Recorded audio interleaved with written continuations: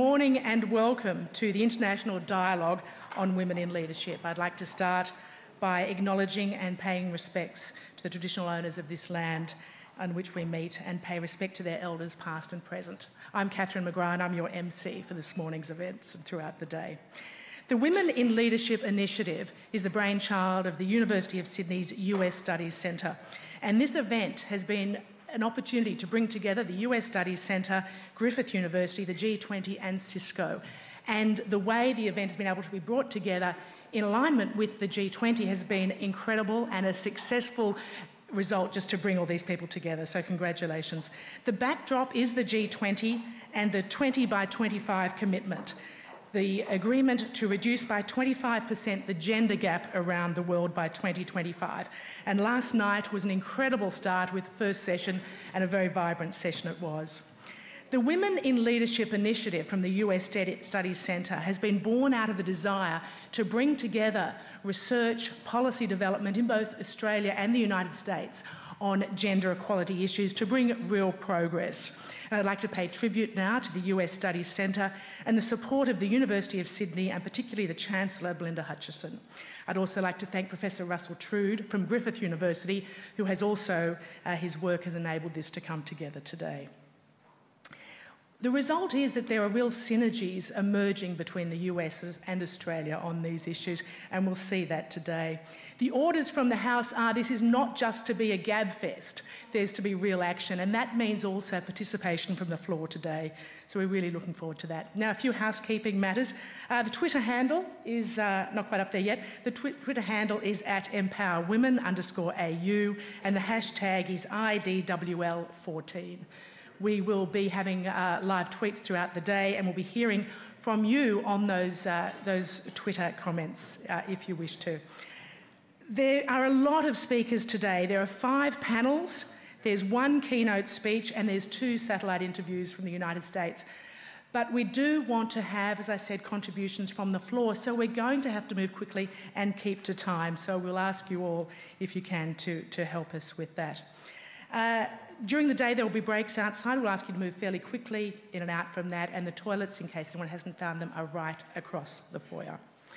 I'd like to first of all start today's events by introducing Professor Bates Gill, the CEO of the US Studies Centre.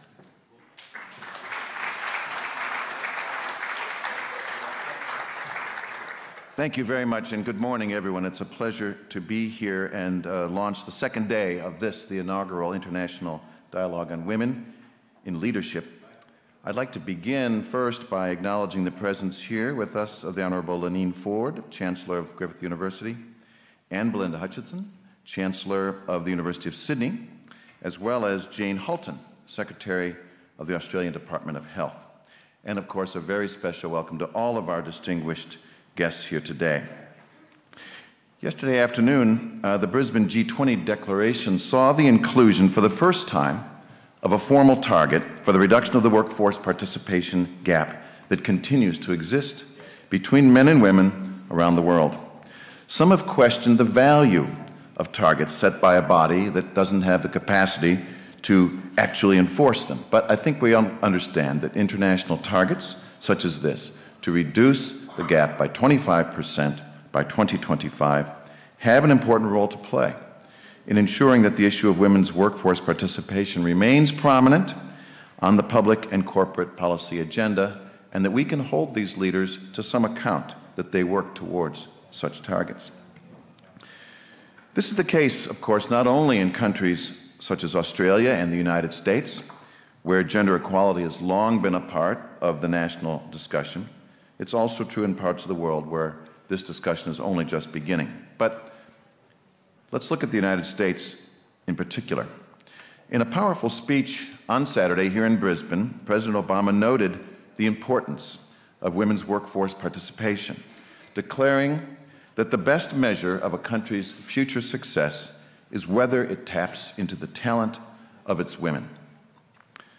Nevertheless, despite years of advocacy, the workforce participation rate by American women remains low, at just over half, about 57%.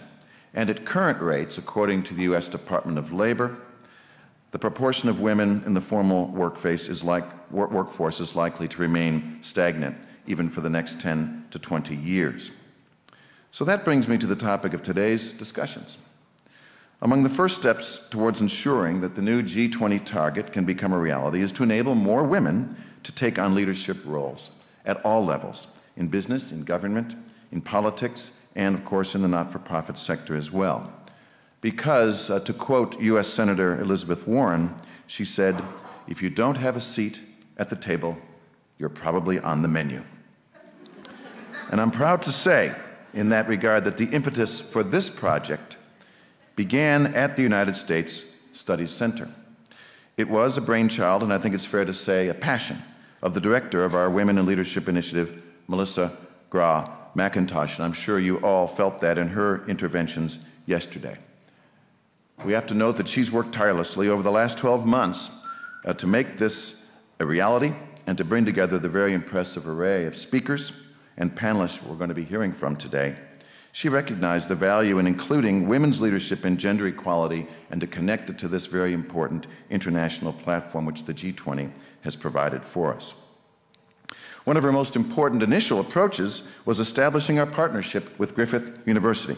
And I want to thank Griffith University once again, and in particular, the dialogue co-convener, Professor Russell Trood, who has a long-standing relationship with the U.S. Studies Center at the University of Sydney, and who has helped us to make this dialogue a reality.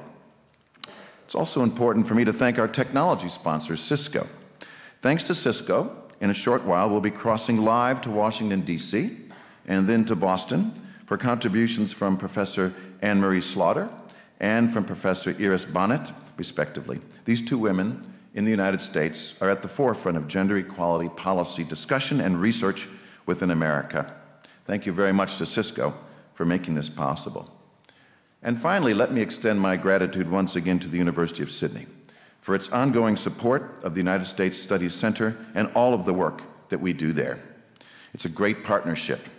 And Belinda Hutchinson, as the university's chancellor and a corporate leader herself, it's a great privilege to have you take part in these discussions today. And now it's my pleasure to introduce the Chancellor of Griffith University, the Honorable Leneen Forde. Ms. Forde became Chancellor after an outstanding career in law and in public leadership. While practicing as a lawyer, she played a strong role in sponsoring other women within her field, including as founding president of the Queensland Women's Lawyers Association. And during that time, she went on to become president of Zonta, a global professional women's service association.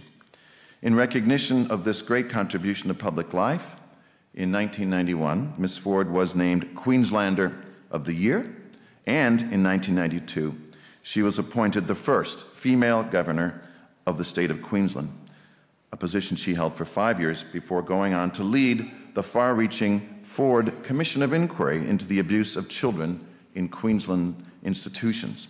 And this was an inquiry that went on to have a very far reaching and important impact indeed.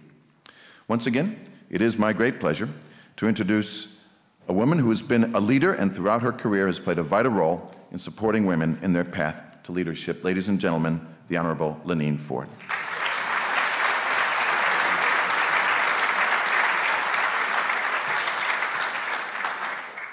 Thank you very much. Oh, it's hard to see up here with the light in your eyes, uh, but I'm sure you're all out there and you're all a, a, lot younger than I am, and it's great to see you here. It rejuvenates my soul to uh, see all these young women gathered together for this very important conference.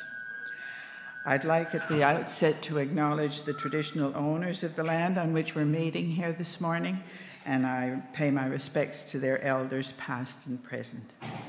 So, on behalf of Griffith University, I see from the program that I'm to welcome you today. Now, there were two people welcoming you last night, and uh, Professor Gibb, thank you very much. It was also welcoming you. And so this is your fourth welcome. So feel uh, really welcomed. The gathering of the G20 leaders this weekend has certainly been a great opportunity to observe and think about the things that have implications for the way the world is run. and the main focus of the Leaders Summit has been on economic relations. But it's very clear that it's not possible to talk about economic relations without also considering a wide range of other factors that make successful relationships between individuals and indeed whole nations. So I think we've seen in recent days some positive attempts um, to deal with the big issues that the world must unite to consider. And there's no doubt that the world is capable of great things if we all work together. So, among the big issues, of course, and why we're here today, is gender equality. So, in this seminar, we're pondering the role of women who occupy positions in leadership. Now, looking back over my life, I'm amazed at how far we've come and how much has changed for women. And you'll realize what a dinosaur I am when I tell you that when I was at law school and we had to uh, undertake articles of clerkship, that um, I was paid $5 a week in articles, and the young men in my class were paid $20 a week for the same work. Now, I don't really think that they were. Uh, um, four times as much as I, I, they were paid four times as much as I was, but I don't think that it was because they were better lawyers. And uh, I must say that the news this week of Gail Kelly retiring with her salary of $13 million this last year really put a smile on my face because I can't imagine very many men making four times her salary. So uh, it's. Uh, we have come a long way, and it's nice to see some of the schoolgirls here. I have a lot of granddaughters. I have a few grandsons too, but the girls are really good. And, uh, and when I talk to them about the difficulties in my day, uh, they look at me as if I'm from another planet, and I guess maybe I nearly am, but uh, it doesn't seem to occur to the 21st century young women of Australia, anyhow, that uh, are on the threshold of womanhood, that uh, anything can stop them from doing what they want. So, haven't things changed? And that's thanks to a lot of women leaders, I know. But unfortunately, conditions and rules have not changed everywhere in the world, and they haven't changed for every young woman in Australia either.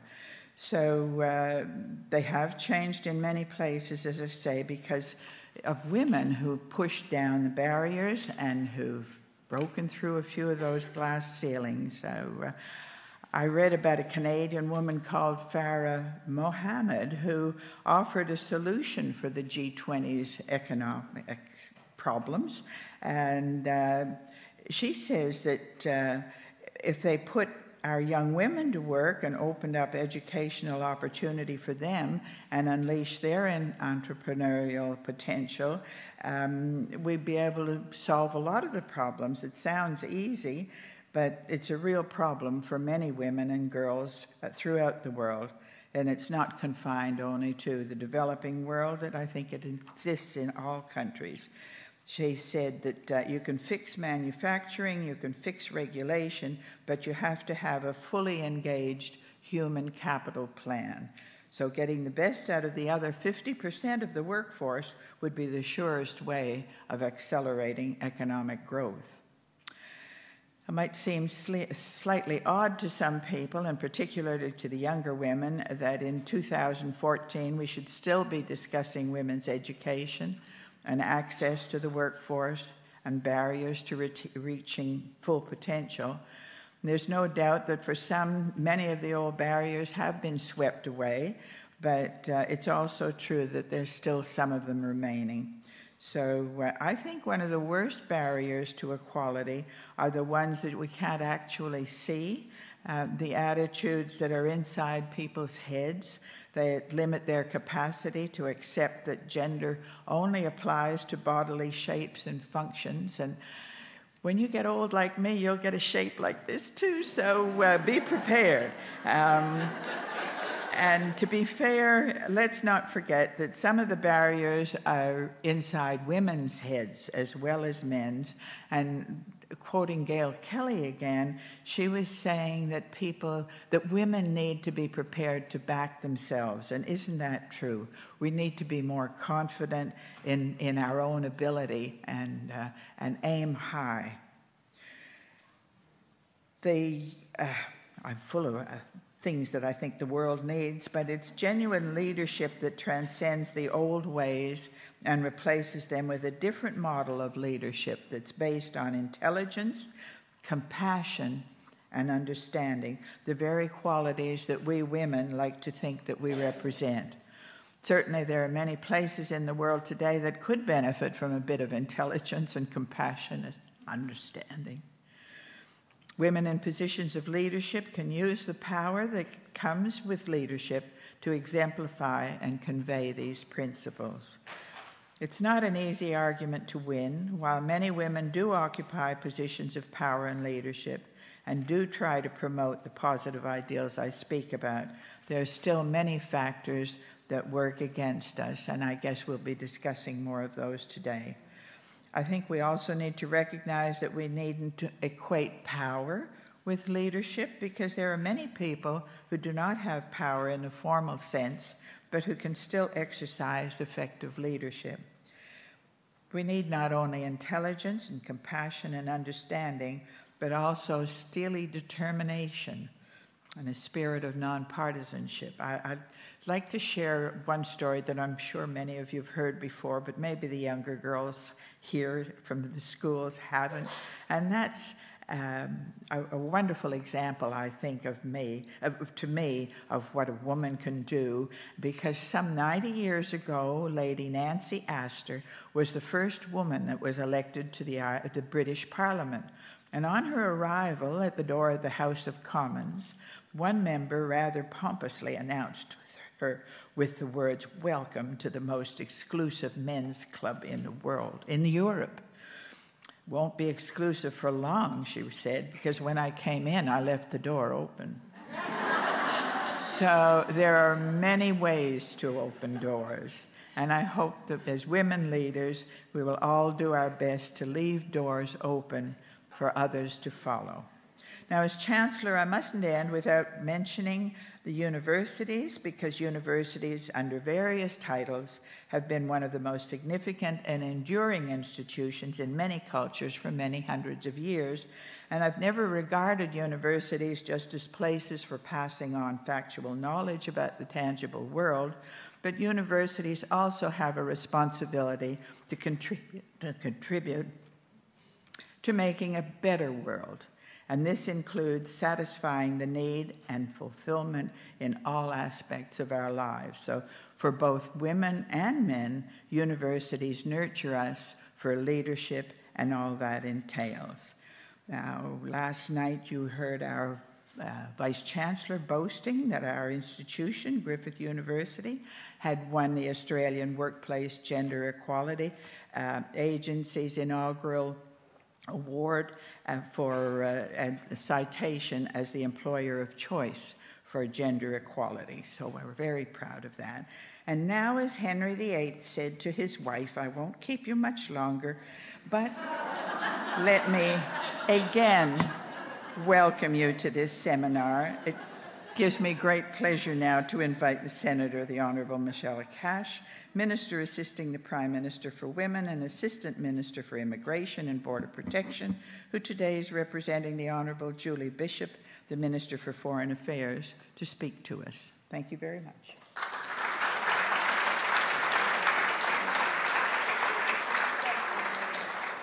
And in fact, that uh, excellent presentation was brought ahead of schedule and took place last night. So thank you very much. And Honourable Leneen Forde, thank you so much for being here. If I could call up our first panellists, it's time now for our first topic today women on the G20 agenda looking ahead to Turkey. Uh, Kevin McCann, if I could ask you to come up, uh, Meryem Aslan, and Oya Özarslan. Thank you. If you take your seats here. Thank you very much.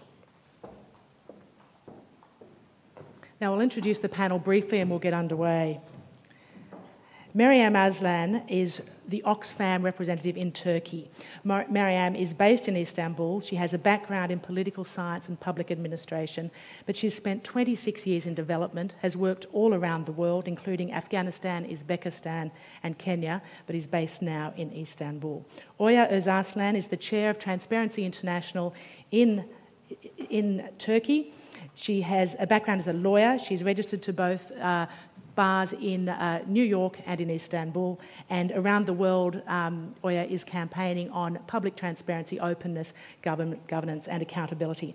Kevin McCann is on the board of the US Studies Centre and he's the chairman of the Macquarie Group and Macquarie Bank Limited.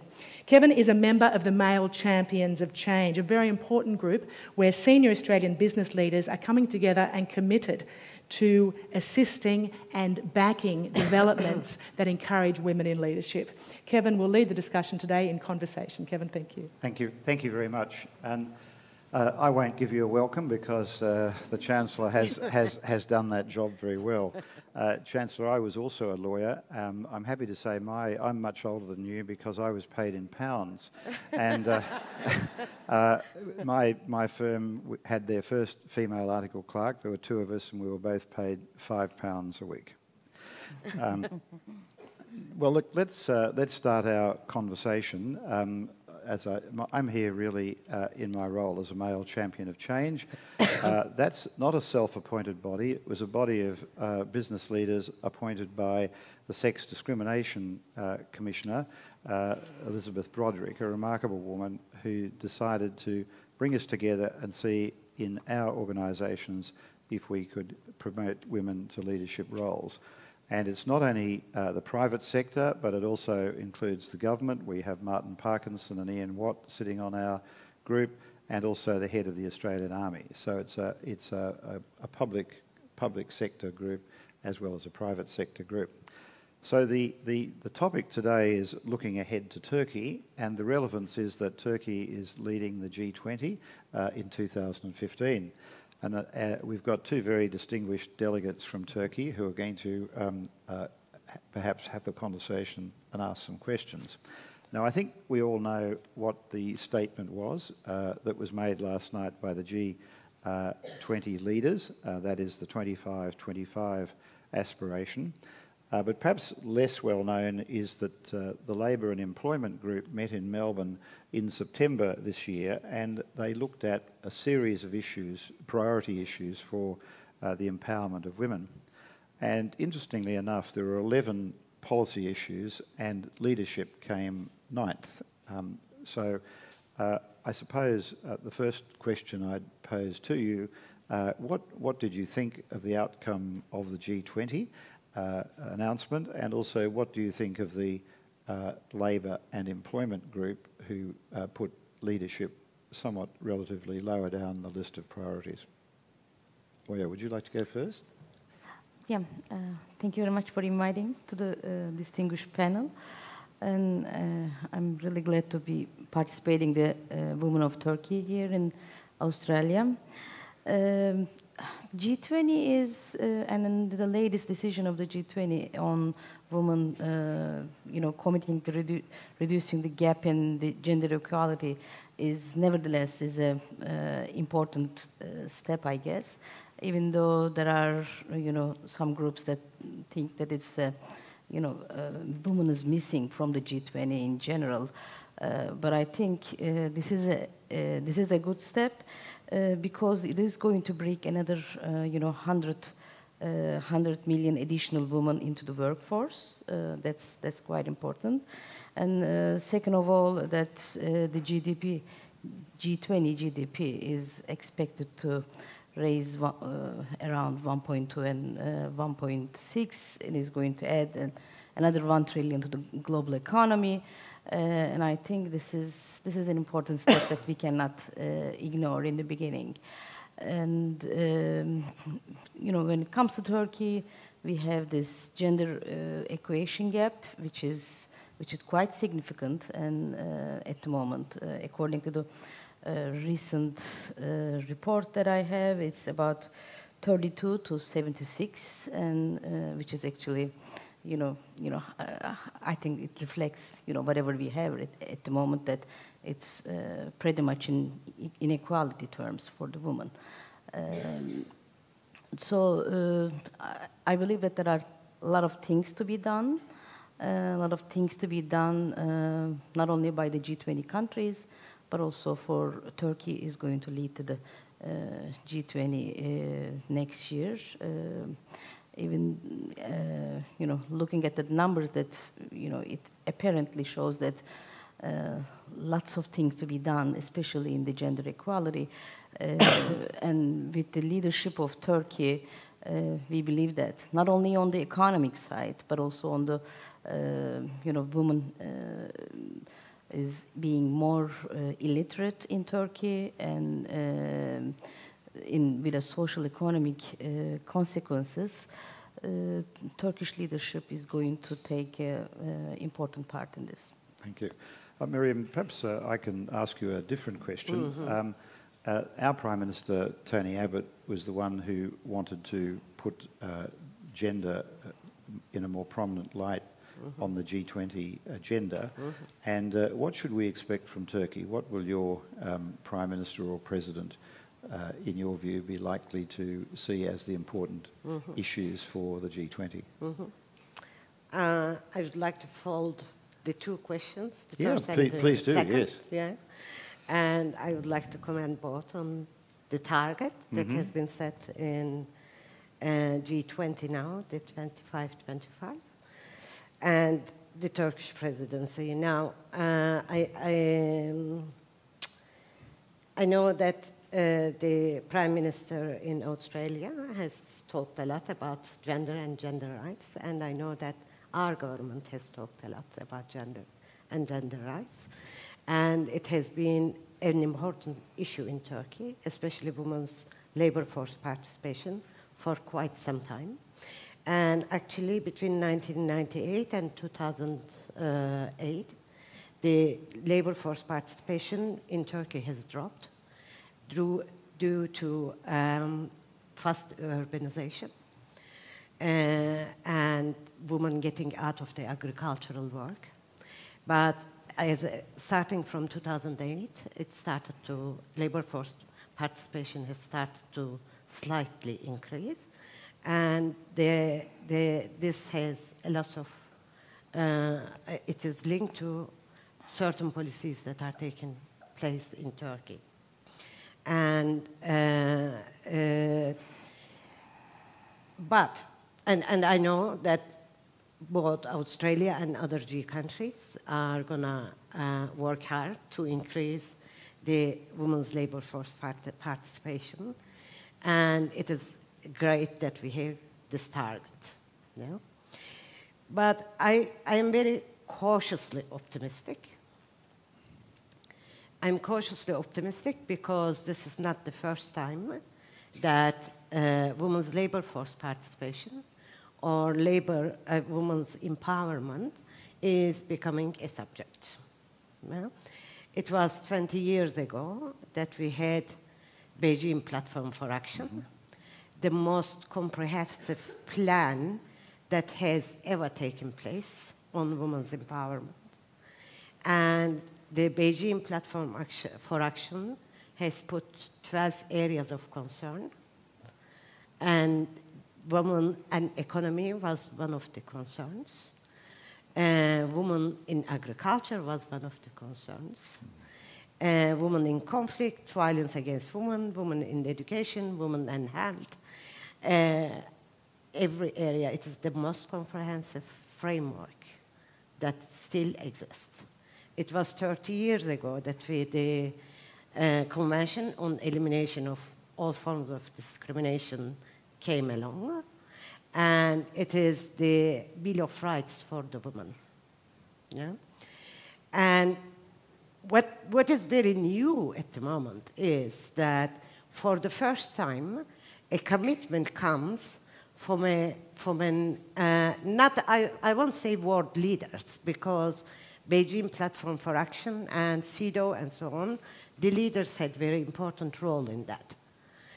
I would say ministries of finance and treasuries that has been most excluded from the gender discussions and most close to gender discussions are today taking on the gender discussion. This is very new. And I think if we have an opportunity, this is the opportunity we are going to tap in. The treasuries and finance ministries talking about gender is extremely important.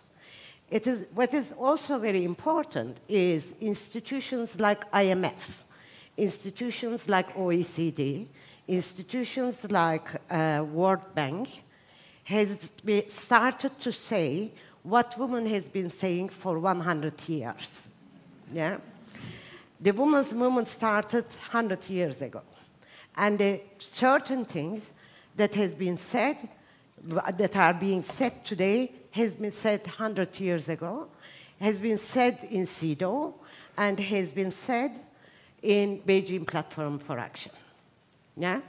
And today, suddenly, all the economic institutions that control economic decisions, that control our future, women's and men's future, that control the decisions on economics, are saying what has been said before, that you cannot count out women. You have to count women in. Yeah? And, and that is the opportunity I see. Mm-hmm. Yeah? And, but how do we look forward now and take, care, take advantage of this opportunity? Yeah? Yesterday I was here, and there has been the, a lot has been said about how we can achieve all this, this target. And there were references to social policies, there were references to economic uh, measures, so social measures, economic measures, political measures, women leadership, everything, no? A comprehensive agenda. And all is fine. As I said, these measures are not new, and I think the knowledge about the measures that needs to be taken to address gender inequality already exists. And it is, it is very good that there is a political commitment. But what, is, what we need to stress, I think, next year and in coming years is accountability. Who is gonna answer women? Who will be answering? And what will happen if we don't achieve these targets in 25 year, uh, uh, by 25? How are we gonna, and who, who, who, who is uh, to answer and to whom are we answering? Yeah? Is, uh, to whom are we accountable? All these institutions. Yeah? That accountability measures have to be worked out. Yeah? And that, that uh, lack of accountability has been one of the major issues in every field, including gender equality. Yeah? Yeah, well, uh, I mean, it was interesting in the leader's declaration, there was a carve out for local circumstances. Yeah. And I think uh, last night's uh, discussion indicated that social norms were extremely important. And uh, perhaps that's something we can touch on with you both. Um, uh, social norms in your country and in, in it's, it's, quite apparent if we look across the um, G20. There's enormous differences in participation, uh, in, in pay, and there's great differences in social norms. For instance, in Japan, where Mr. Abe, uh, his target is 30% increase in female participation in the workforce, but he's more ambitious than the G20. He wants it by 2020. Now, in the case of Japan, it's, it's not an option, it's an economic necessity. But in Japan, a couple of social norm statistics. One, there's the uh, habit of FaceTime. So if you're working in Japan and I'm your boss uh, and I don't go home till nine o'clock, you don't go home till nine o'clock, even though you have no work to do. So it's, it's, there's no productivity, it's useless time and very hard for women. Uh, also, 70% of Japanese women after their first child retire from the workforce because Japanese women who work after having children are bad mothers. That's the social attitude. So the, so the outcome is that these women don't go back to the workforce for more than 10 years. They're casualised and they've lost the opportunity to be leaders. So um, social, social norms are pretty intractable. Um, so could you, uh, and the difference between different countries in developing countries, developed countries, and countries in the middle, how, how, do, you, how, do, you, how do you deal with those? Can I start? Uh, I think we should give Oya a chance. Oh, yeah? well, um, I think we have to start with the G20 countries, the leaders, for instance. Only the 25% of the leaders were uh, women.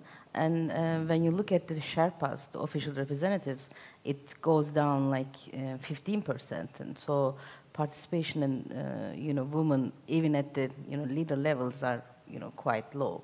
So uh, we're starting with that. And, uh, and I'm, you know, when I'm here, I just would like to give some, uh, you know, perspective from the uh, from the transparency side. Then, you know, what could be done. Uh, and we're in Transparency International. We think that this participation um, tipping point, when this tipping point has reached, uh, then there's going to be genu genuine uh, change in the policy uh, towards women, and then the processes there's going to be an ultimate impact, and the tipping point is around, uh, I guess, 30%. It has been uh, estimated as 30%. So, uh, but I don't know. We have to wait another, you know, another leader to come around to have the, you know, impact on the uh, women, uh, women issues and the equality process to come on. So that's first thing that I would like to say. And then the second thing is that in general, and when you look at the, um, you know, the economy, the world economy, the tackling corruption was on the agenda of uh, G20 countries. And then the cost of the corruption amounts to 5% of the global GDP each year. So that's uh, pretty much like the uh, third biggest economy in the world. And, uh, you know, costing around uh, 3.3 billion dollars a year. Uh, so, uh, what is the potential impact for the overall for the uh, for the world and especially for the woman? And is there any role for the woman for bringing a, you know fairer and clear uh, systems with more equal uh, access for the woman participation? And uh, this is one thing that I would like to touch on. And the second thing is that woman rule and uh, woman role in uh, you know the corruption in overall uh, world uh, you know world economy. There are uh, researches indicating that women are less likely to involve corruption. I mean, the underlying reasons for that, it's another, uh, you know, another subject, and uh, it should be discussed in detail, but I mean, the consequences is quite important right now. And uh, when you look at it also, uh, the woman is also very uh, risk averse and uh, less likely to act individualistic and more on cooperating terms. So this is another uh, important aspect for uh, you know bringing women into, into, the workforce in world economy, and uh, so um, I'm just gonna uh, say another. I know I have mentioned lots of figures, but uh, you know there are important impact on uh, getting women into the workforce. there was one study in feminization process in Peru and it ended up uh, women holding 93% of police force. And, uh, and finally, you see the significant drop uh, in, in, paying bribes to the police. And then the, the man uh, basically said that we cannot bribe, uh, you know, women polices.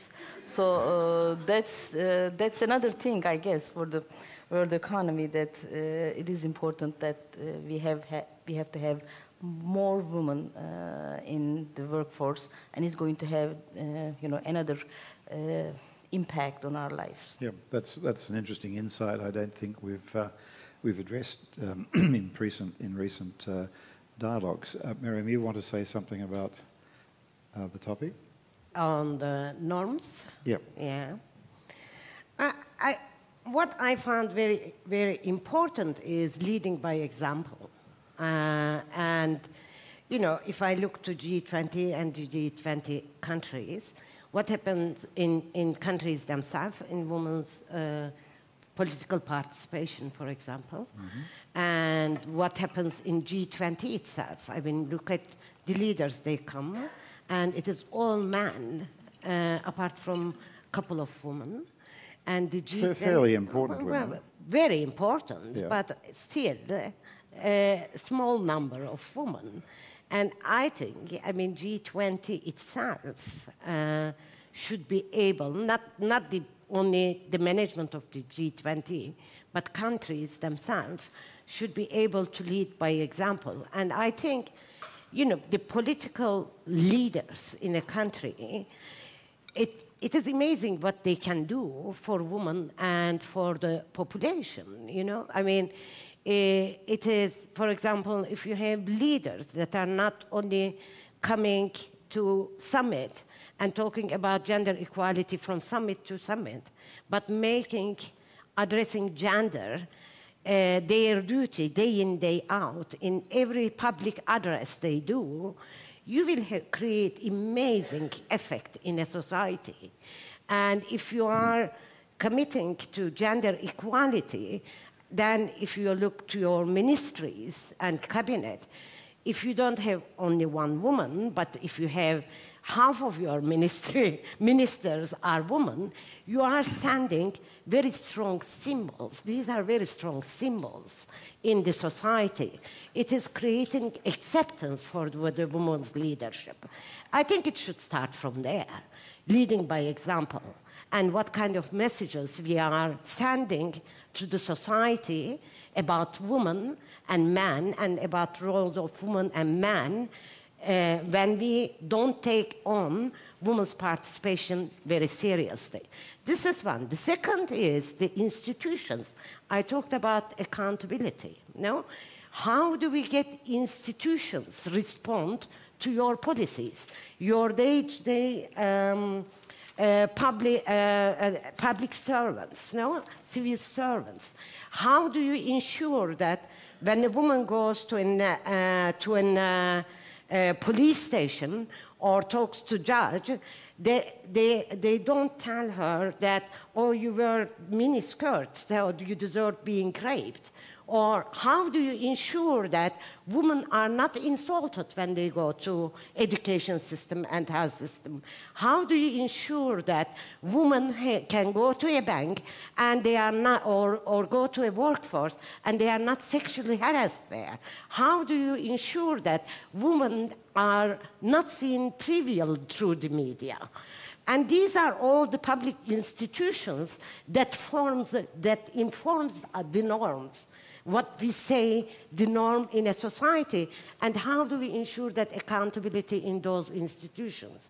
It is extremely, extremely important to uh, ge uh, gender, not mainstream, but to make those institutions for, work for women. Yeah? Yeah, I think you've made a very important point, and that is that uh, gender uh, diversity, the empowerment of women, is a first order issue.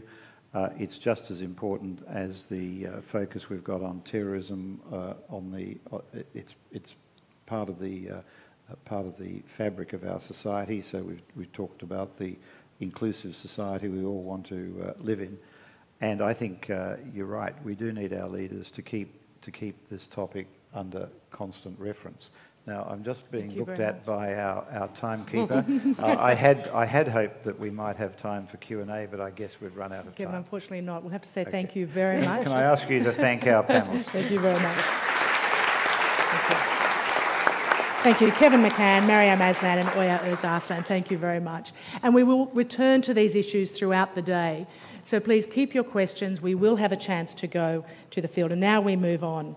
We have a very exciting session coming up now women in politics, and we shall be shortly moving to that. We might take a moment to actually take questions. So I think we do have a few moments opening up. We do. So I'm sorry. We'll get sorry. We'll get um, Kevin, Meryem, and and, uh, and Oya back on stage. I'm sorry about that. Technical issues, but uh, it gives us a great opportunity actually, because there's so much more to talk about. And we'll start by taking a question. Um, let's see. I've got a microphone over here. Um, down the front. Here we go. I can't quite see, but thank you very much. Dr. Anne, Dr. Anne Marie Moody, the Boardroom Consulting Group. Uh, Mr. McCann, you have three female directors on your board. What message does that send to your colleagues on ASX 100 companies? Um, what, look, I hope it. Am I, am I coming through? Yeah, yeah, yeah. Um, thank you for the question. Um, we are not related. Uh, but uh, I, I, think it, it, sends a good message. The, the thing about the ASX is that the top 20 companies in the country have 25% representation of women. Uh, at Macquarie, at Macquarie Bank, we have actually have 36%. Uh, On the holding company, we have 30%. And as I, when I retired from the board of Origin, I was replaced by a woman, and that company has 33%. So uh, we're, we're getting there voluntarily. Um, I, think it sends a good message. Unfortunately, um, there are still holdouts in the top 100, and unfortunately, in 100 to 200, the position is not, is not as I'd like it. So I'm writing to the president of the AICD this week to say we really have to uh, uh, build up our campaign to make sure we, we get here voluntarily. Otherwise, we'll have the debate on quotas that we had last night. Thank you very much, Kevin. And Oya and Meryem, can I get you briefly to comment on the commercial sector? What, what thoughts do you have there? Me. Both yeah. of you. Yeah, in the, in the commercial sector, uh, there, there, was this World Economic Summit in 2011, I think, no?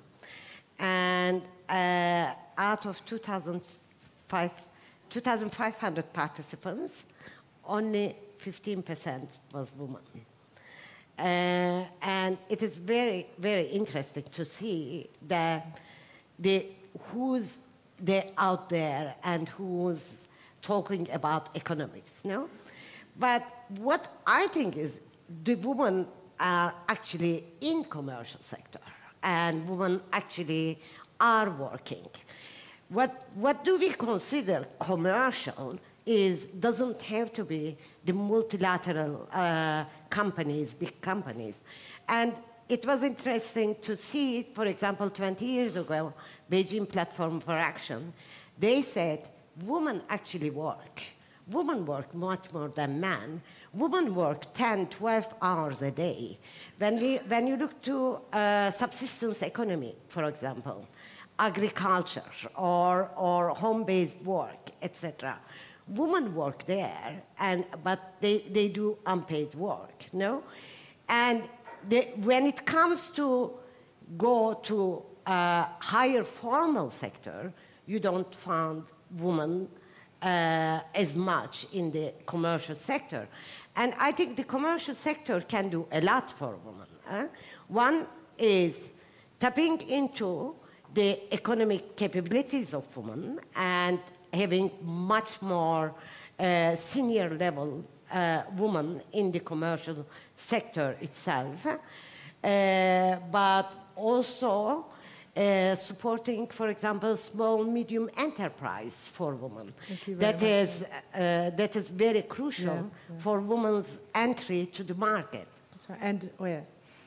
Um, I actually wanted to, you know, tag along with what uh, you know, Meryem said, um, I mean, uh, when we're talking about women uh, participation to the commercial uh, force, uh, we also we only you know focus on the corporations and a representative of the um, representation of the woman in the executive level or managerial level, and you know how many women we have in, on the board. But uh, on the other hand side, there is a you know family. There are you know uh, very important numbers on the family businesses and SMEs, for instance, and those businesses, they are, uh, you know, naturally likely to have more women uh, in their board, and it's, I think, very important. And uh, thinking about that, you know, one of the priorities for Turkey is, uh, next year is the SMEs, and our Prime Minister is actually, you know, specifically mentioned that they're going to be, uh, you know, highlighting the points, including more women and youth in uh, throughout the SMEs. uh, not only in G20 countries, but also in non-G20 countries and uh, focusing on the least developed economies, I think it's going to be one of the you know, starting points. Well, thank you very much. And can you please thank our panel? And we will be returning to these issues. We'll be returning to these issues. Thank you very much. Thank you very much, Kevin. Thank you, Meryem. Thank you, Oya. Our next session is our political session Women in Politics and Government Alliances, Strategies and Power. And there are many themes that will be recurring throughout the day on this issue. We have a special guest, Professor Anne Marie Slaughter from the United States, and the presenter of this section is Virginia Haussegger. Close friend and colleague, Virginia Haussegger has been a broadcaster internationally and in Australia, and she is also an academic at the University of Canberra, where she's adjunct professor. Virginia Haussegger, I can ask you to take over. Thank you. Thank you very much, Catherine, and it's, uh, it's a delight to be here. I'm going to jump straight in because I believe we do have Professor Anne-Marie Slaughter on video link, and we do. We can see you, we can see you, and hopefully hear you. Welcome, Anne-Marie, to Australia, Brisbane. Thank you. I'd love to be there in person. It would be warmer. Now, ladies and gentlemen, just before we jump straight into Anne-Marie, I know we only have her for a limited period of time, about 12 or hopefully up to 15 minutes. So you all know Professor Anne-Marie Slaughter, but just by way of background, our panel discussion that is to follow uh, this morning is Women in Politics and Government Alliances, Strategies and Power. Now, Anne-Marie is someone who knows a great deal about exactly that. She's currently the President and CEO of the New America Foundation, but in 2009, Anne Marie Slaughter became the first woman to be appointed Director of Policy Planning at the State Department. It was one of the most powerful policy positions in the world. And of course, she described it, not surprisingly, as her dream job. Now, for those of us outside of the US, many of us first heard of Anne Marie Slaughter not because of the terrific job she was doing, but because of the terrific job she quit. Two years after taking up that role, Anne-Marie waved goodbye to Washington and returned to Princeton and her tenured position there. Now, her decision to leave such a high-powered role, uh, a role that um, in which she had been become a role model for hundreds of thousands, if not millions, of young women uh, across the United States. Her decision was quite controversial, but it was wrapped up in her own desire to spend more time with her family. She had two teenage sons. And in 2012, Anne Marie wrote a long essay for The Atlantic magazine, provocatively titled, Why Women Still Can't Have It All. Now, in that piece, she described the very logistical, real logistical challenges that remain for women achieving and maintaining powerful roles at the centre of power. It became one of the most read articles in the history of the Atlantic magazine, and it certainly had reverberations around the globe and particularly here in Australia. Ladies and gentlemen, please welcome Professor Anne Marie Slaughter.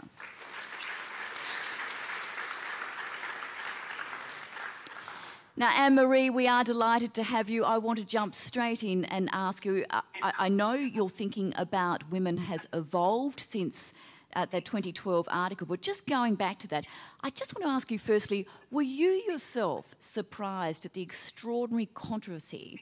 That uh, grew from the moment that article was published and uh, the anger and a bit of frustration that, that flew around the globe from women. Did that take you by surprise? Yes.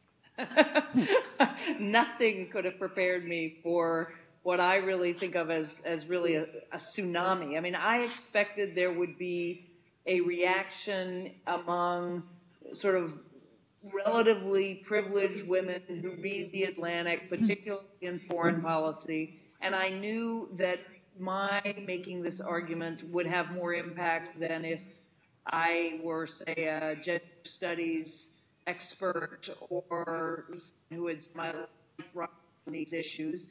And I Unfortunately, Anne-Marie, we've just lost you for a moment. If you're back with us, have we got you? No, we'll just let uh, we'll let Cisco just have a bit of a fiddle with that link for a moment. And I will just remind you that when Anne Marie's article came out in 2012 and did reverberate around the globe and, and here in Australia, the pushback from some women was that she really shouldn't have come out publicly and made the claim that women still can't have it all, because a lot of women didn't, of course, want to hear that. Have we got you again, Anne-Marie? Uh, I can hear you. Fantastic. We lost you. I'll just get you to go back to okay. the point. So you were really surprised. Uh, I was just saying that, that I, I did not. I knew that that there would be controversy among what I think of as my crowd, which is feminists of, uh, you know, mid 50s to mid 70s, my generation of feminists, that there would be people who thought I was discouraging younger women. But I had absolutely no idea that it would trigger the intergenerational debate that it did. Tell me about that intergenerational debate. What was it? Well, I, I, think the simplest way to, to think about it is that there were many, there are many, many, many young women out there who have been questioning the kind of, uh, of course you can do it, just work harder, just, you know, assert yourself.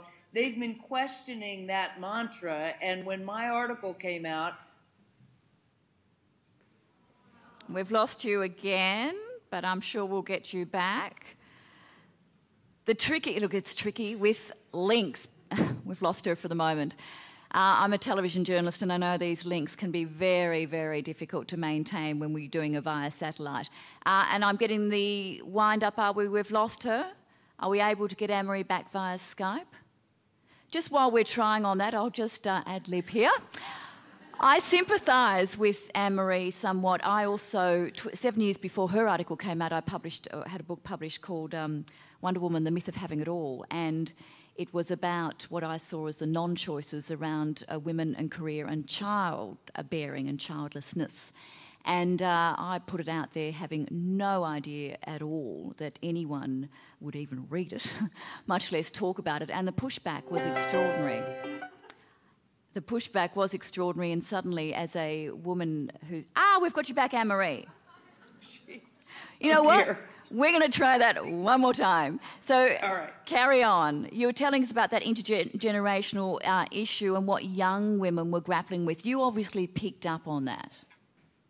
Yes, I did, and and I that's why I said that is why I decided to write the article was because younger women kept telling me that I had to tell a version of this story. But I think the simplest way to understand it is that when the article came out, daughters I'd like to finish her sentence, but I can't. I'm not sure what she was going to say next.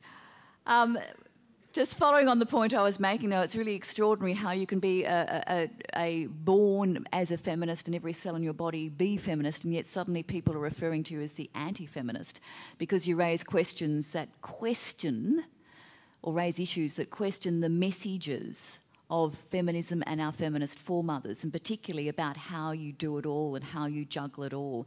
And that's why when Anne Marie's article came out, I was. Um, was actually quite pleased to see that a woman in that position uh, would take a stand such as that and say, you know what, we're not doing this right. We've got the sequence all wrong somehow, and we need to be honest and open about it. But boy, oh boy, she did get whacked around um, uh, very, very much so. Is it possible we've still got no? You, are we still trying to get Anne Marie? No, we're not, unfortunately. It's all right. I'll bring the panel up. Yeah, I'll bring the panel up. Look, ladies and gentlemen, I'm sorry about that. Cassandra, if we need you, we're going to come to you as well. um, we'll move on to our panel now, and if we do get Anne Marie, we'll just jump in. In fact, we'll just cut in because it would be lovely to hear, um, particularly how her thinking has evolved around women and leadership since then. I'm going to call forward now um, the panel of Sally, Jane, and Hana to come and join me for our discussion on women in politics and government, alliances and strategies, and of course, power. Sally, if you can take a chair here. Jane, hello. Take a chair here. Have you got a? mic? You have. Yep and Hana. Now, moving on straight away, let me introduce you to this terrific panel. But first, might I say, our theme here today, our central theme of women in key positions of power and decision making, is of course something that many of us have been discussing in the sidelines for years. For many of us, it's been very frustrating that progress has been slow and at times it's been glacial. But I posit now that there are winds of change in the air. And that's partly evidenced by the fact that we're even here today uh, holding this international dialogue on women in leadership as an official G20 event. Um, we know after years of collecting the data and building the models that the evidence is in, we know that it's, it's indisputable now that the case, the economic case for closing the gender, the gender gap is clear. And the 20, 25 by 25 target is, is uh, certainly recognition of that. We also know that sustainability in communities, be they local, national, international communities, depends on the full participation of women, not just in the workforce, but in the corridors of government and the seats of power. We know that men must also be part of the solution. But women's political participation and political empowerment must take centre stage, I believe, if the G20 nations are serious about achieving gender equality. But women, we know, can't do that alone or in isolation. So, how do we create alliances and what are the strategies needed? Well, we're about to find out. With me here on stage now are three women who know a great deal about pulling the levers of power and working with government. So, may I introduce to you one by one? To my left here, you're right. Jane Halton. Jane Halton, of course, is known to all the Australians here. Jane is the Secretary of the Department of Finance Jane has a very long and distinguished career in serving the Australian people and the Australian government, has previously been Secretary of the Department of Health and sits on a number of international boards uh, in her work uh, as a previously as a Secretary for Health and is currently the chair of the, you're going to have to give it to me, the WHO Executive Committee? I've just stood down, but I'm still on the board. All right, just stood down as chair, was chair for seven years. Uh, in fact, her, her commitment, uh, appointments, awards and accolades are way too numerous for me to um, detail in, in detail here. I also now would like to introduce you to Sally Ranney. Sally is a renowned environmentalist and green strategist, can we call it that? Sally is known around the world for her work um, in the environment uh, as a specialist and a green business strategist. She has extensive experience in both the for profit and not for profit sectors. She's also worked with several US presidents, including President Carter, President Clinton, and was appointed by President Reagan to serve on the President's Commission on American Outdoors. Sally also founded the Corridors of Life, the first and largest GIS project that an NGO has ever undertaken in the United States. And she was co chair of the Clinton Transition Team to develop a $650 million uh, conservation youth corps. Again, her list of achievements and accolades could fill a book and are way too numerous to detail here. But for our purposes on today's panel, Sally brings a wealth of experience when it comes to alliances, strategies, and accessing political power. And to my far right, Hana Satriyo. Hana joins us from Indonesia. Hana is the Director for Gender and Women's Participation at the Asia Foundation. And Hana has been the Director for the last decade. In that role, she's held, uh, she's initiated and overseen a number of innovative programs to support women. She's a specialist, particularly in the areas of gender budgeting and women's political participation, also, the area of decentralisation and local government, governance and legislative development.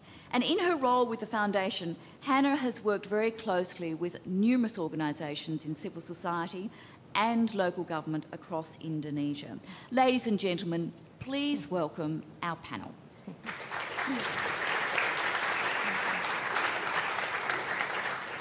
Now, given uh, we've lost Anne Marie, we will be taking some questions from the floor.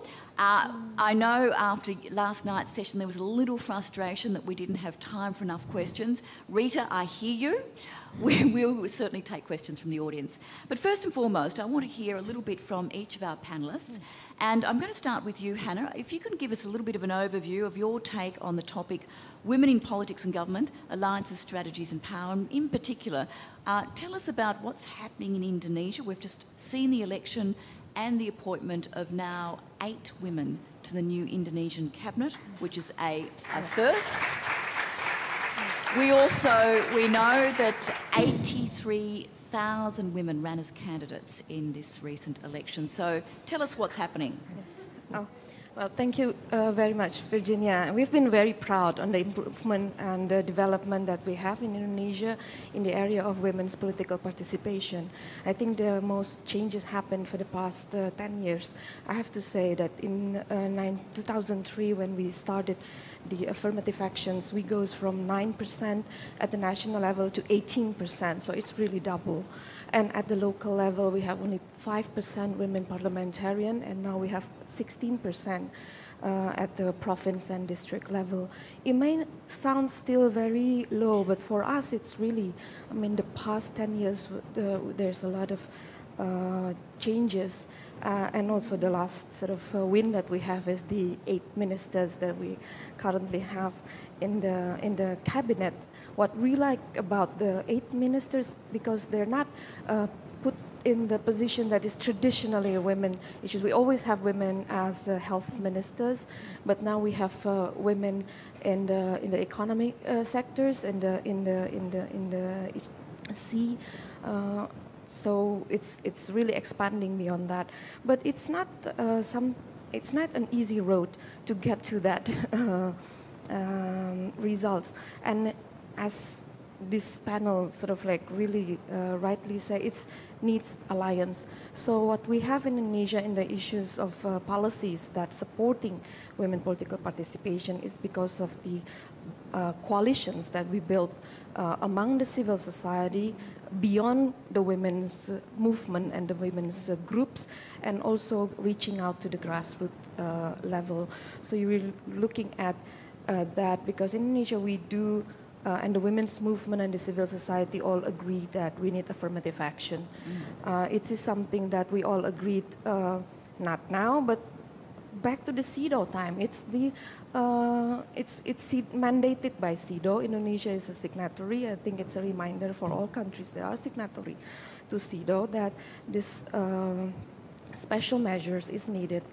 Uh, Which you do, in fact, have in place, don't you, though? A 30% yeah, minimum target of women candidates for a political no, the, party. The, the 30% what we have is only quota for candidacy.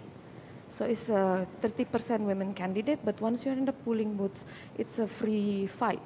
So can I just be clear on that though? Is that am I correct in saying that a political party, if it doesn't put up 30, at, at, least 30% of its candidates, it's not, it's delisted. It's not allowed to run. It's yeah, it's true. I mean, first of all, we know that unless you have the quota, the political party will not gonna have 30% women in the list. Period. Mm. We're gonna wait another 100 years, but still they're not gonna have 30%. So what we have in the 2004 is the 30% quota of candidacy and they fell short.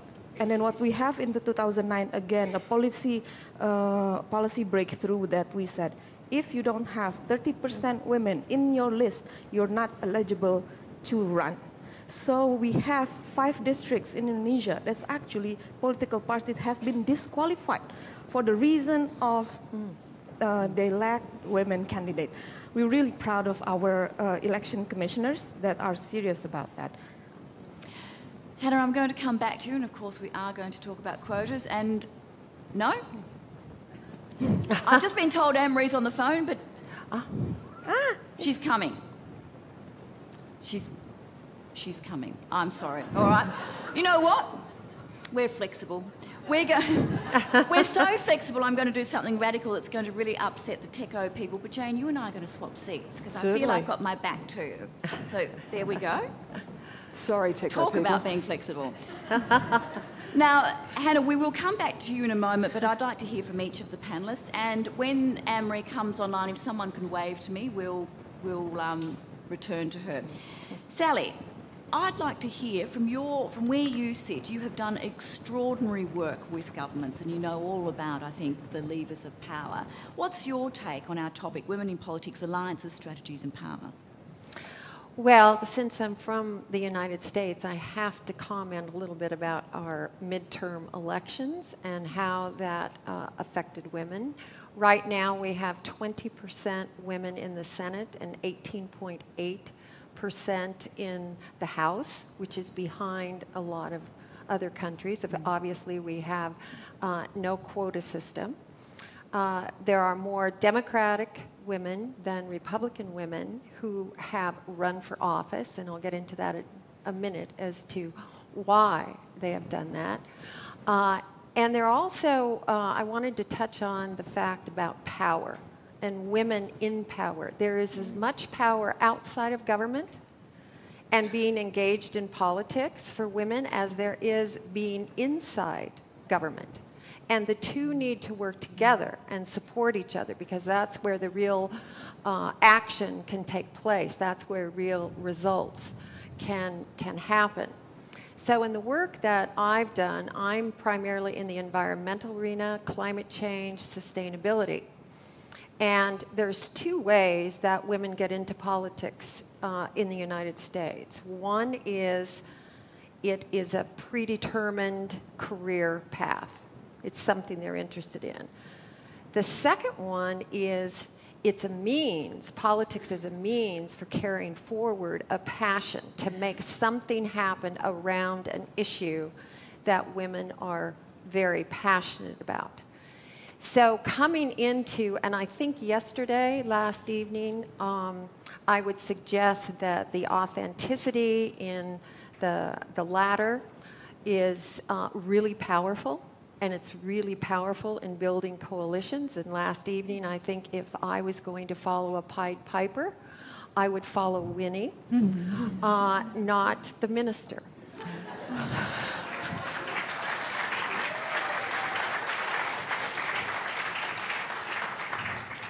So, also, women are finding different roles inside of politics, uh, uh, leading from behind or leading up front. And one of the things that is, that is really remarkable in America is that history actually has been changed by social movements. Uh, getting the right to vote, the civil rights movement, the environmental movement, the equal rights movement. By the way, all four of them, even the civil rights, although the leader was a man, Martin Luther King, it was Rosa Parks that sat on the bus a woman. Mm. No more, she said. Uh, Gloria Steinem on equal rights. It was a woman, of course, for suffrage for women. And the book Silent Spring, written by Rachel Carson, was a woman. So there are two approaches that women are taking in politics, and uh, social movement is one, building constituencies uh, to support the women who are taking your, your issues inside government so that they have political cover of constituencies where they can say, whether particularly when they're elected officials, uh, even appointed officials, can say, there is a constituency in this country that is really supporting more women in politics, more sustainability action, more environmental policy, whatever it may be. Uh, and those coalitions have to be, those political coalitions have to be multi sector. Mm-hmm. Can't just be environmentalists. It's got to be business women. It's got to be academics. It's got to be scientists. It's got to be people in technology, women in technology. Those are the strongest political action uh, coalitions, if you will, and alliances for moving agendas forward. And the other thing I'd like to say is that um, uh, in the United States, we're starting to move towards a rights based uh, action profile on women, uh, and that women are integral to achieving peace, as well as sustainability, as well as equality on, in all dimensions of, uh, of society. And so the rights of women the rights of indigenous, and the rights of future generations. The rights of future generations. And that's where women are gaining more and more power in the United States, particularly in my arena around climate change. Is future generations, we hold that for future generations. And there's much more political action coming forward from uh, a rights-based approach. There's some tremendous messages there and, and plenty we will come back to. Jane, hold it just for a moment because we do have Anne-Marie on the phone. Ah. So I'm told we'll give it one more go. Anne-Marie, are you there? It's Virginia. Yes, I am. Fantastic. We're so pleased we've got you back. Anne-Marie, we won't hold you up. We've already begun our panel discussion. You were talking about uh, that intergenerational difference um, and the, the messages you were hearing from young women as to that clash, I think, between career and other choices. Just carry on that point if you would. Uh, I, I, th- I think this is not news uh, at this point that, that younger women who are looking at women of my generation uh, and seeing the trade-offs we've made, either in terms of uh, not having children or having fewer children than we wanted, or or making it work, but making it work uh, at the toll of an enormous amount of stress. Uh, and you know, many of us dropping by the wayside are are asking questions uh, about uh, how they're going to manage it. And Sheryl Sandberg sees this phenomenon and has said, you know, don't leave before you leave, and I, I certainly understand the importance of teaching young women to strive and to, to be ambitious. I've done that all my life, but I just don't think it's enough. Mm. Uh, If, uh, you know, at every, I've spent the last two and a half years talking to audiences, mostly of women, of tremendously talented women in every industry, government, academia, banking, whatever. Uh, but at every audience, I look at them and think, you know, let's let's think about the two women who started professional school with you and who entered the ra- the ranks of the workforce with you, who are no longer sitting here uh, when we get to, toward the top. And it's not just the two women; it's pro- the four women who who haven't made it. And so it's really uh, those women we have to focus on, rather than just exhorting the, those of us who are in the game uh, to uh, to try harder. Anne Marie, can I ask you this? Given you know, you, you've no doubt your, your thinking has evolved a great deal since the, the 2012 um, discussion that you started. What do you? What, what is the strategy that you would recommend to women who do want to uh, to reach the sort of heights you did? Who also have a family, what would you recommend? What would your strategy, your game plan be for them now, knowing what you know? Well, my my whole uh, frame actually has changed pretty dramatically. I mean, I, I don't think women on their own are going to be able to make it uh, unless we make a number of other much bigger changes, most of which uh, involve much broader social values and, and involve men. Uh, in other words, I think women on their own trying to do it, trying to juggle it, uh, maybe they'll, maybe we'll get to 25%, but we won't get to 50%. We've been stuck at these numbers for since the early 1990s.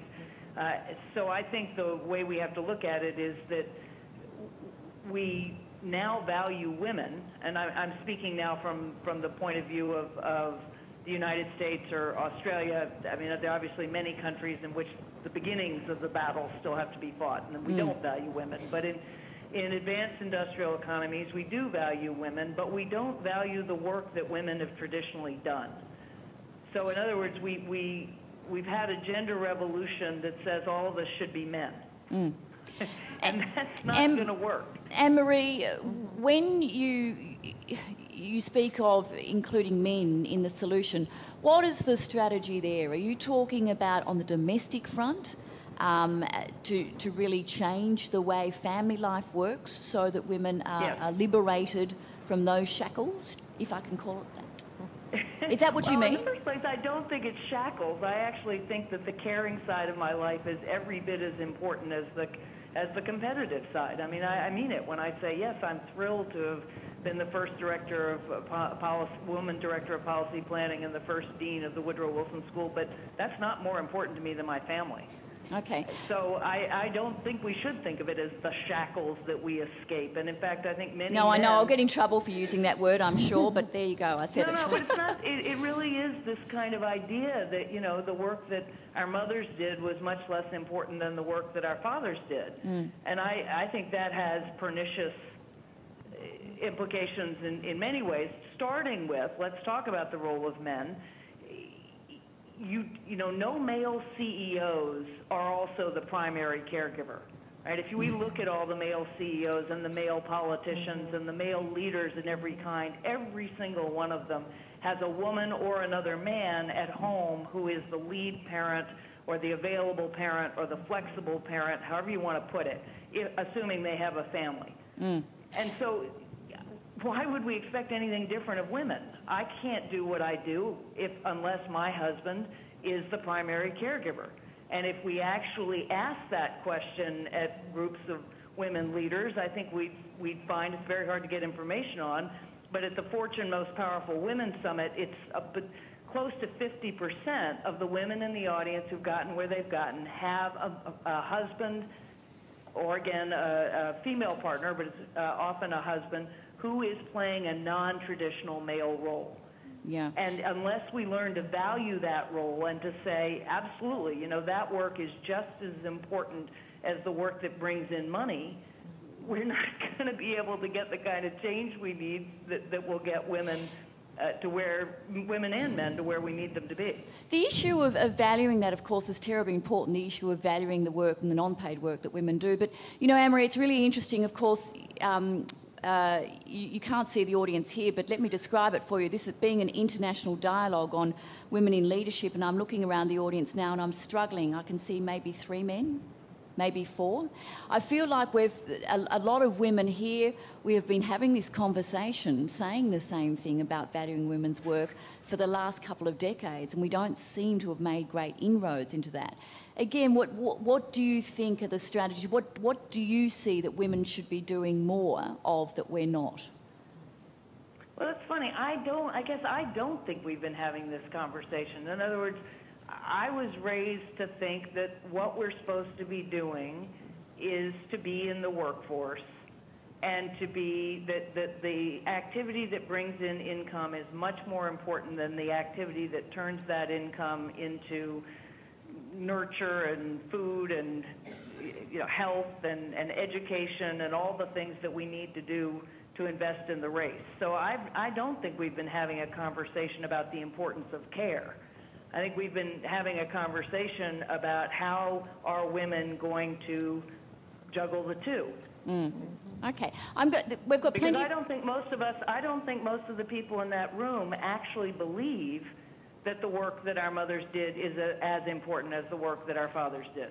I think we've all been socialized to think, nope, you know, competition, the, the world, the traditional world of men is more important than the traditional wo- world of women. And I think unless we say they are equal, that care, caring for others is just as important as competing with others to advance individual goals, we're not going to get there. And so, And I would quote Bill Gates on that proposition. I'm quoting him at Davos in 2008, where he said, you know, the two great drives of human nature are competition and caring for others.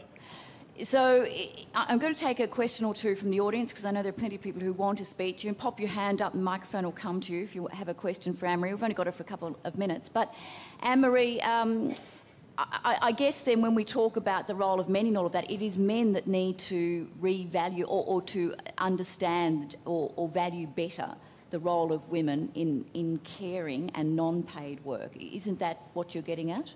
No, I, I'm actually saying something different. I'm saying women have to learn to value the men who engage in that kind of work. That just as uh, men defined femininity in many ways. You know, why, when I grew up, I was told if I beat a guy, I would be unfeminine and would not get a husband. uh, but I actually got two along the way.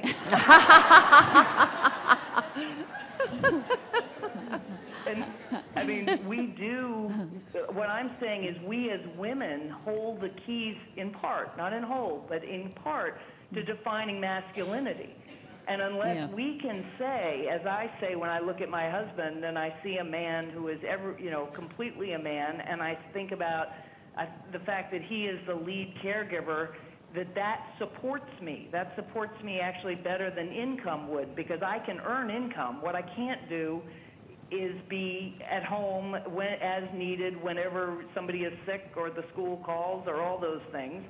And I think my husband is breaking barriers just like early women pioneers broke barriers. Okay. So it's, it's up to us to value them. Okay, terrific.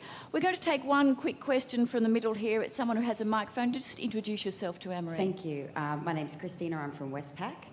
Um, so we've talked about valuing the roles of the primary ca- caregiver, whether they uh, be in the form of a husband taking non-traditional male roles, etc. Should we not be looking at the construction of these senior roles and the organisations that they're in that does not allow a successful leader to be present in their family? Yes, absolutely we should. Uh, and, and really what the larger argument I, I make is that if you really value care and competition or love and work, however you want to put it, uh, equally, then of course you would, you would value that in all your employees. Right? You would say that in fact that the caring side, uh, however it's expressed, and it can be a biological family or an extended family or your community, uh, you would say that's a very important part of what you of, of your employee and, and part of what makes them a good employee. And yes, completely, you would have a much more flexible uh, Mm. work world, which I think we're heading to in many reasons because of technology, because of what millennials want, because of what retiring baby boomers uh, want. But I, I absolutely think that's a huge part of the equation. Yeah, yeah, indeed. Great question. Thank you. We have one last question up the back there. Um, Janet Mack from QUT, but not necessarily representing. Um, I would just, uh, nothing suspicious about that. Um, I just, just like to um, draw on that notion of respecting and valuing the different roles uh, and not necessarily um, putting it, attaching gender to those roles. And in particular, I think women also need to be very cognizant of the fact that the role they have played as caregivers historically and some continue to do now is equally as important as earning an income or becoming um, a CEO or a chair of a board or whatever. And I think very often women themselves don't value the role that they've played as women um, uh, and as caregivers. Uh, and I look at my own experience, and I know that's a dangerous thing to do, but I think I've had a, a career of two halves. I spent the first, well, probably three, the first 10 years of my life working. I then retired or from the paid workforce and brought up five children for nearly 20 years, and now I'm back at work as an academic in a completely different environment.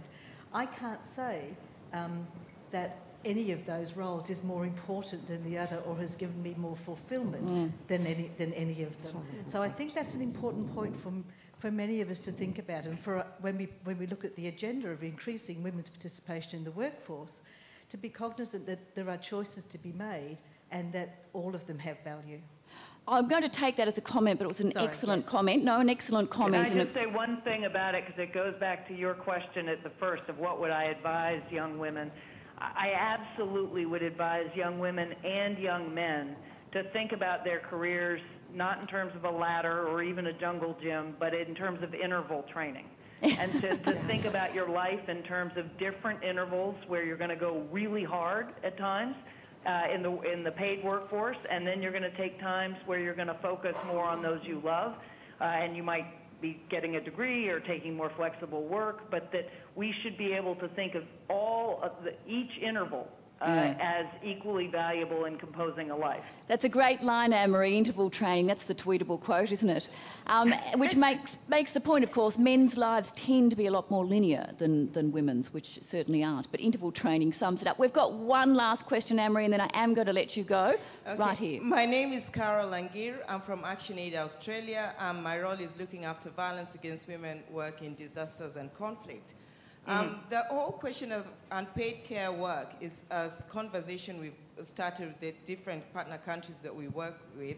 And I just want to draw our attention to the fact that this conversation is slightly different in some other developing economies, Africa, Asia, And the reason why it's different is because the role of women is viewed differently. And when you start, it's about changing the power relations at home, at the house of, household level, domestic private space. And women in their local collectives are beginning to talk about it.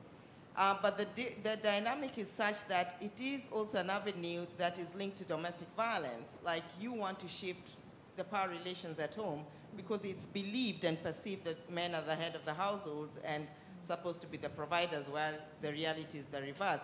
so my question is, don't you think this conversation needs to be placed differently when we are talking about Sunday economies where the dynamic is slightly different when it comes to attitudes and practice of those local communities? I do. I absolutely do, which is why I, I started by saying I was speaking from the perspective of advanced industrial economies, because I, mm. I think the conversation that I want to have now is only a conversation that you can have after the, the different waves of the women's movement we've had. And the first wave uh, in at least in the United States, was all about power and sex. Mm. Right? It was all about uh, the resistance to being treated as property, being treated as sex objects, uh, being the subjects of violence, uh, and I'm well aware, putting on my foreign policy hat, uh, of the situation of many women around the world. Uh, so that's essential, and I'm not saying we could have had the, the uh, revolution we've had if we had started by saying, no, we should value traditional women's work equally with traditional men's work. What I'm saying now is that in, in, the, in advanced industrial countries, and I'll just speak for the United States, which I know best, we've had half the revolution, but now it's time to have the other half. Mm. And now women are equal enough to start insisting on the equality of different types of work, regardless of whether men or women do them, and start insisting that actually we, we embrace the full range of human experience. Indeed. Anne-Marie, we have a, an auditorium full of people who want to ask you questions, but unfortunately I'm going to have to let you go. I know it's very late where you are, and we appreciate you joining the International Dialogue on Women and Leadership at the G20. Ladies and gentlemen, please thank Professor Anne-Marie Slaughter. Thank you. Thank you.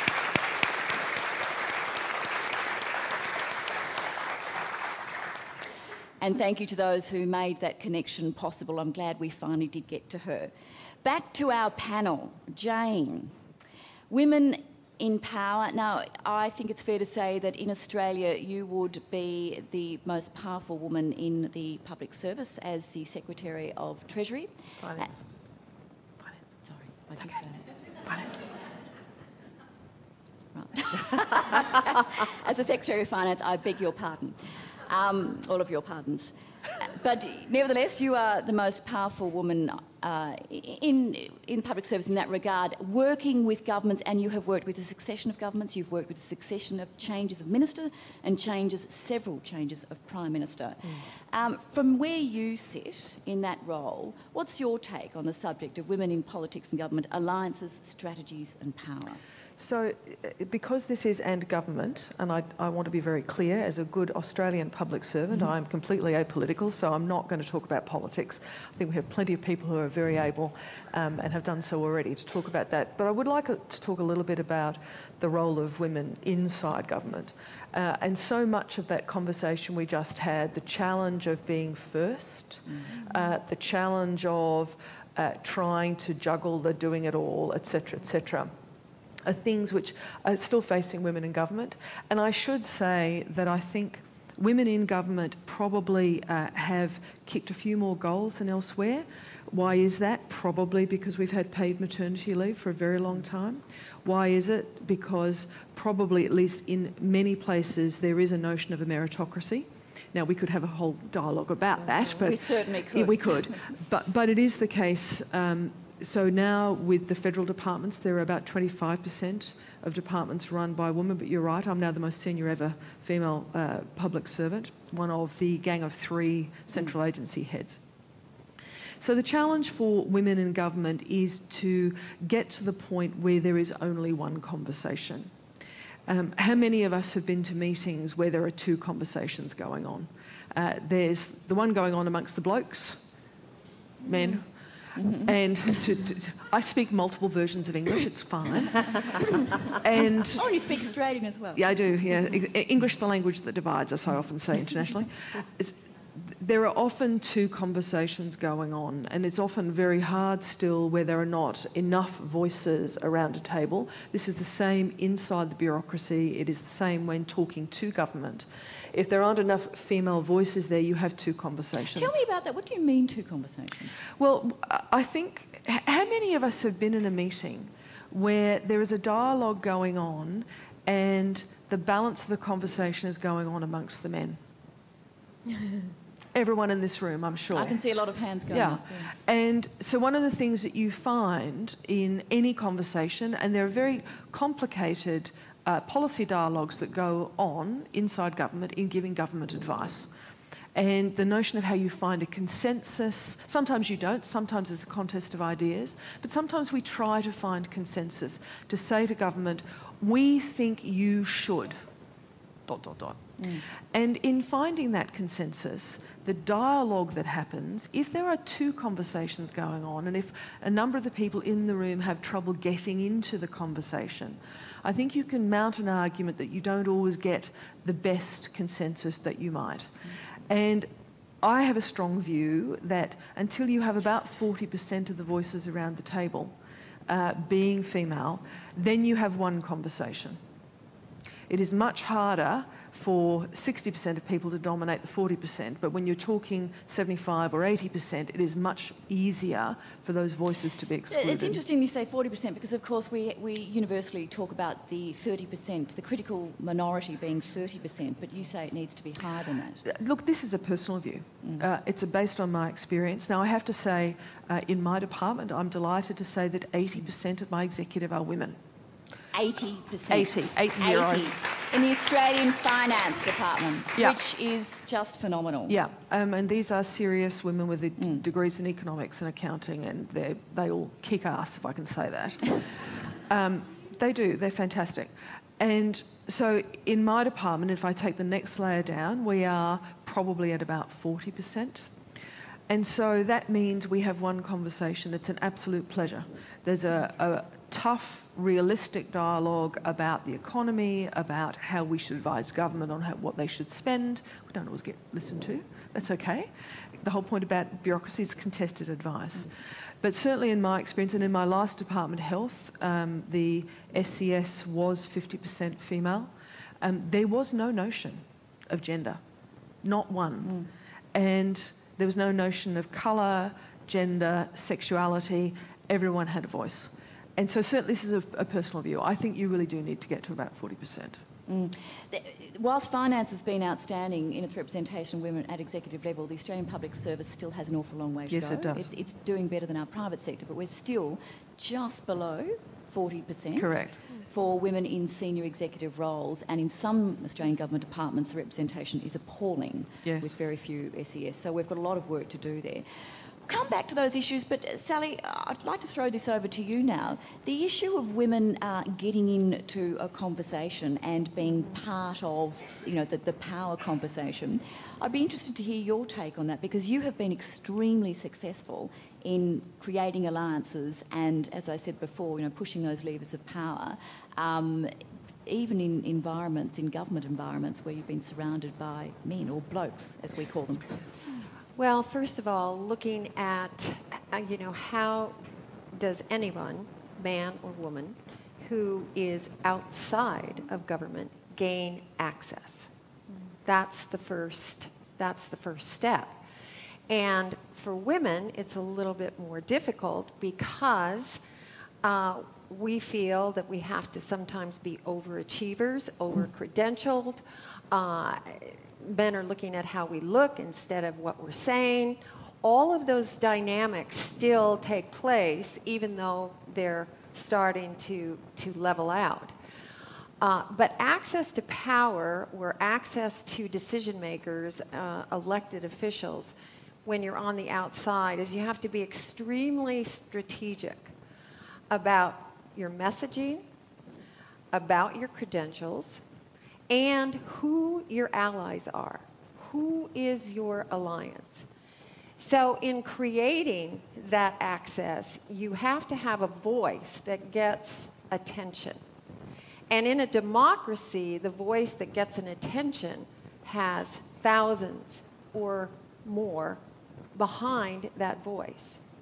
So I believe, and I say this in a lot of my speeches, I really believe that democracy works for you if you work for democracy. And often we get what we get because we get it by default, because we haven't organized strategically around the issues that we're wanting to get results uh, moving through the political process.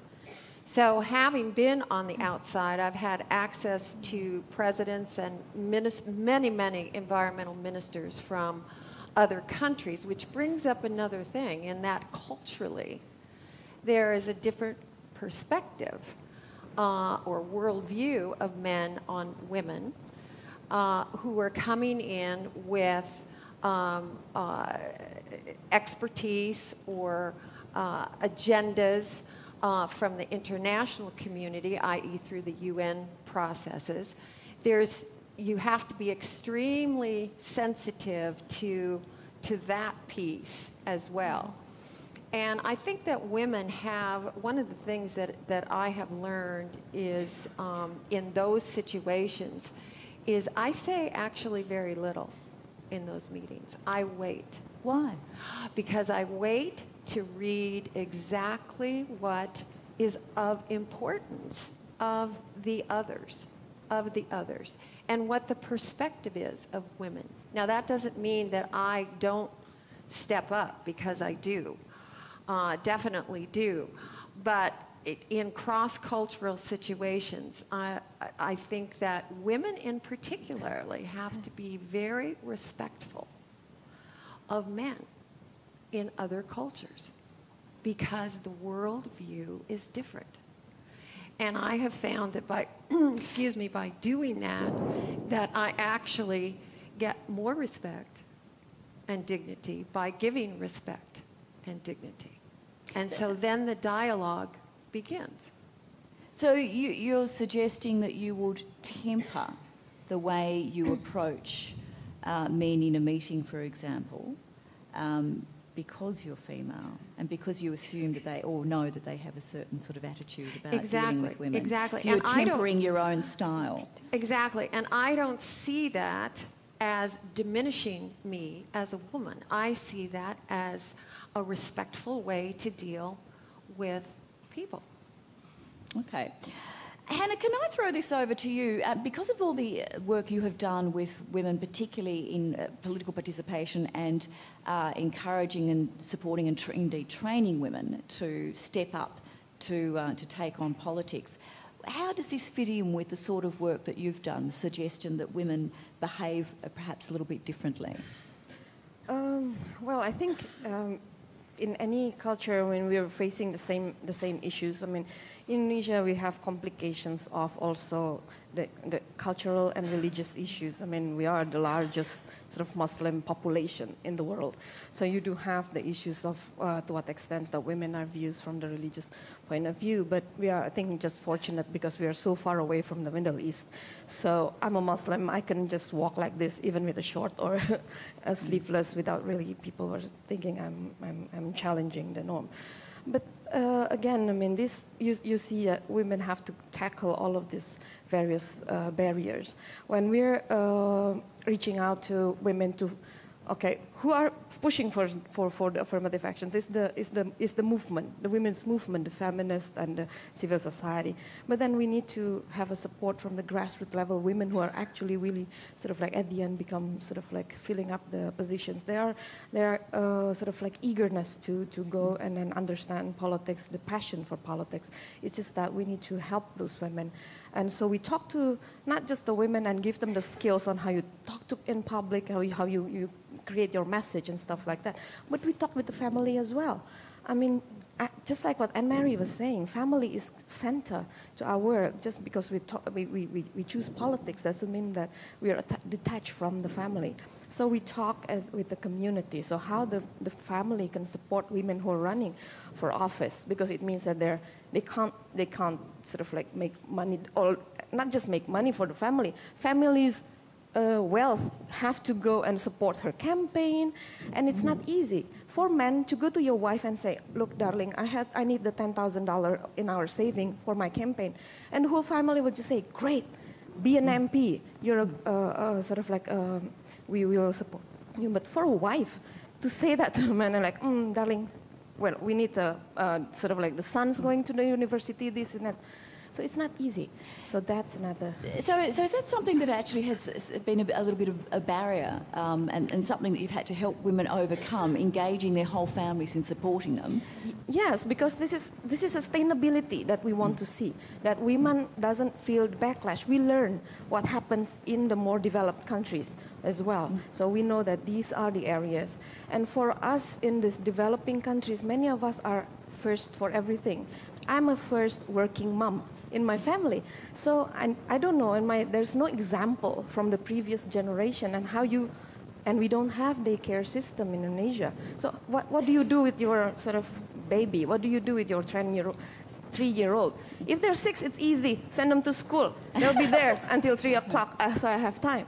But then with your three-year-old, what do you do with them?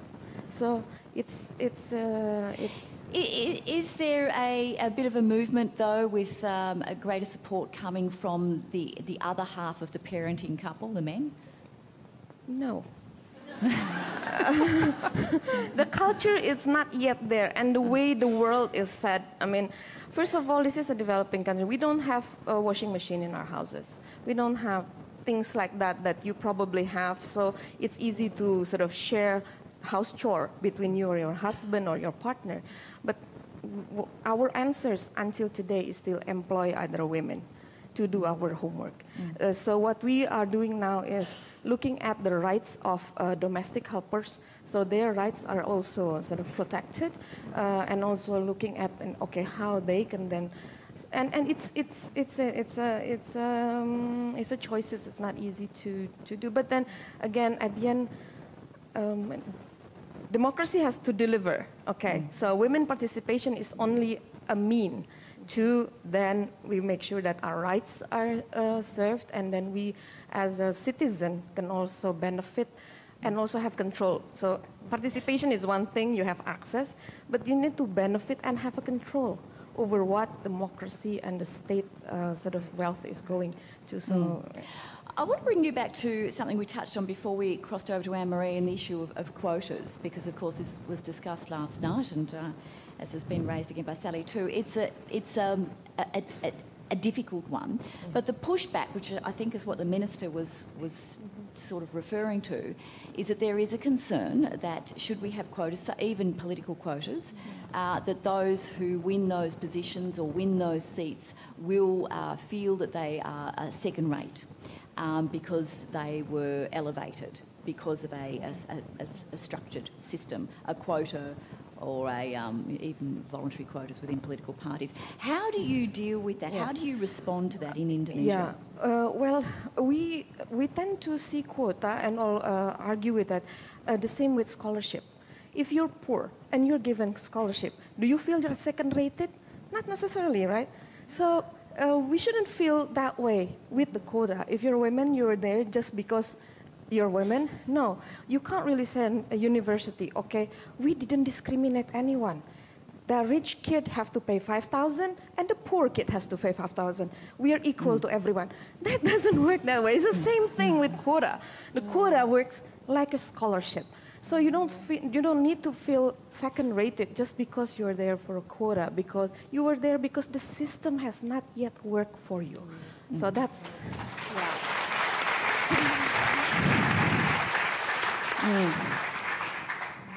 Um, I'm going to throw that back to, to Jane. And Jane, you weren't here last night when the minister spoke, but she made it very clear that quotas, uh, that is not, a quota system is not Australian government policy.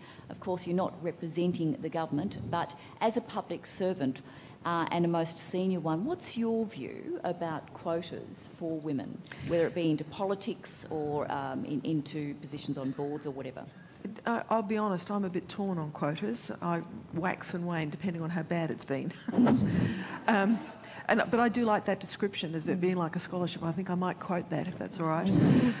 I, can I say that I think, um, she says ducking, I, I, think there is another issue in addition to the quota question though, and I think it is actually some of the points that Anne Marie was making.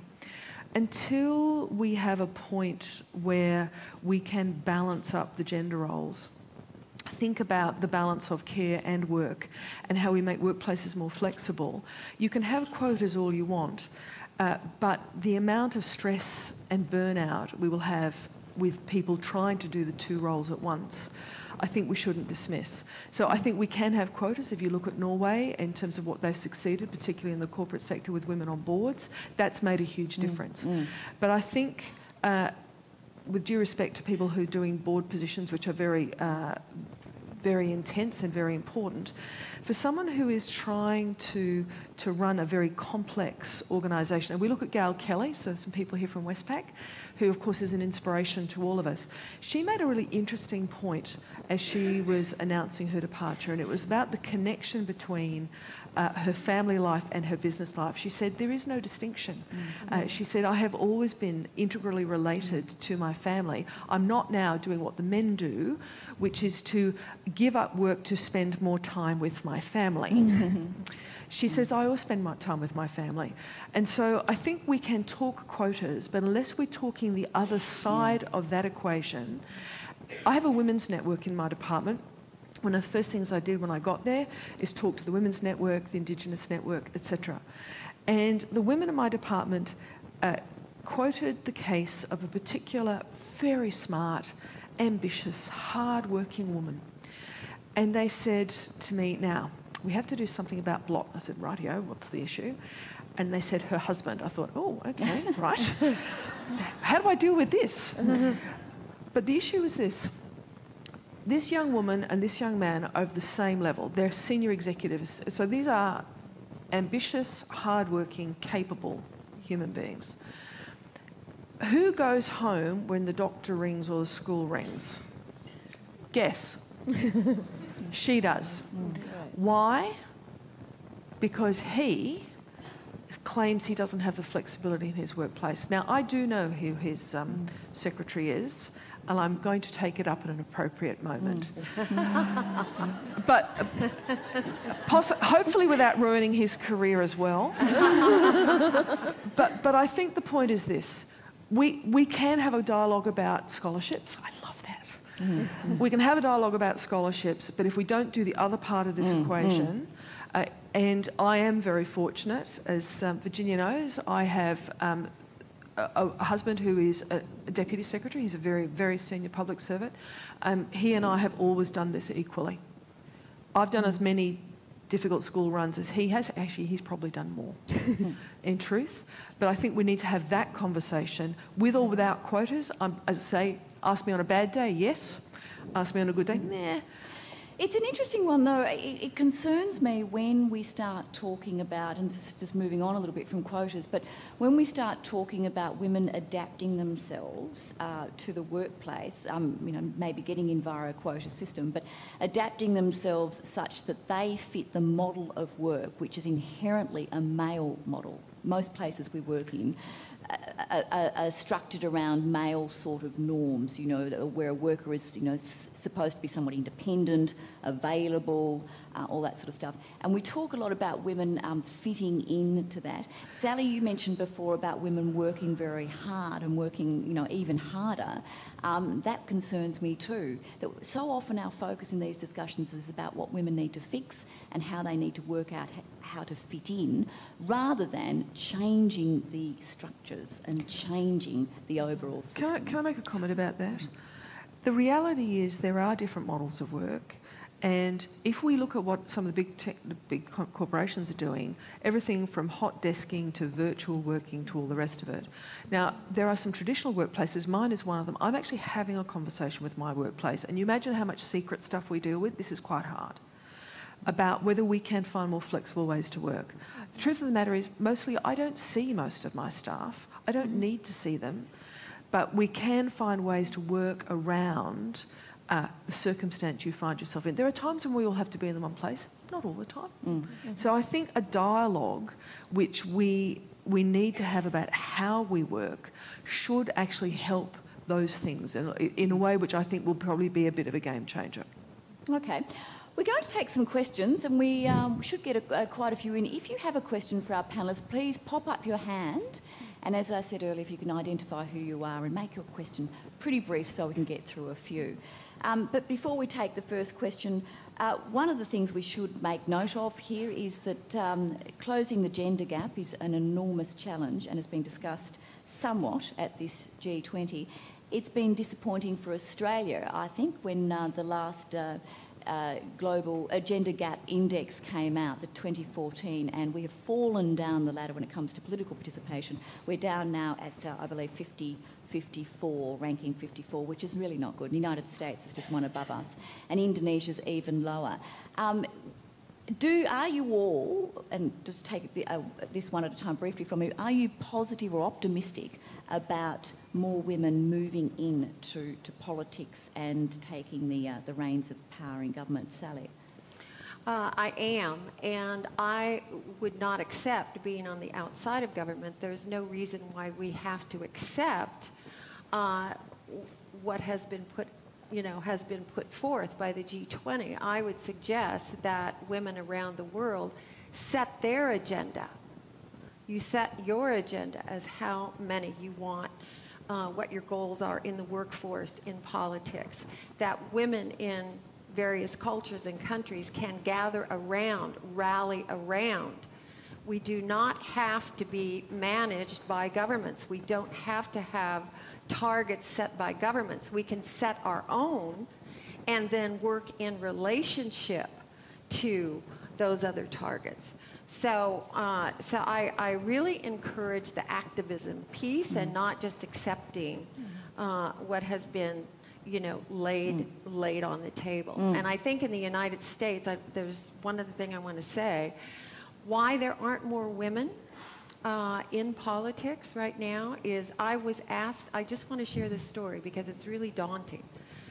I was asked to run by the Democratic Party uh, in the district where uh, I was living a few years ago, and I really thought about it seriously, and I looked into it, and I found out that I had to have, and this comes with being a single mom and wanting to send my my uh, son to college instead of what I was told I had to do. I needed $25,000 to investigate myself. Yeah. To figure out first, before I even ran, what the opposition, uh, you know, would find out about me. Mm.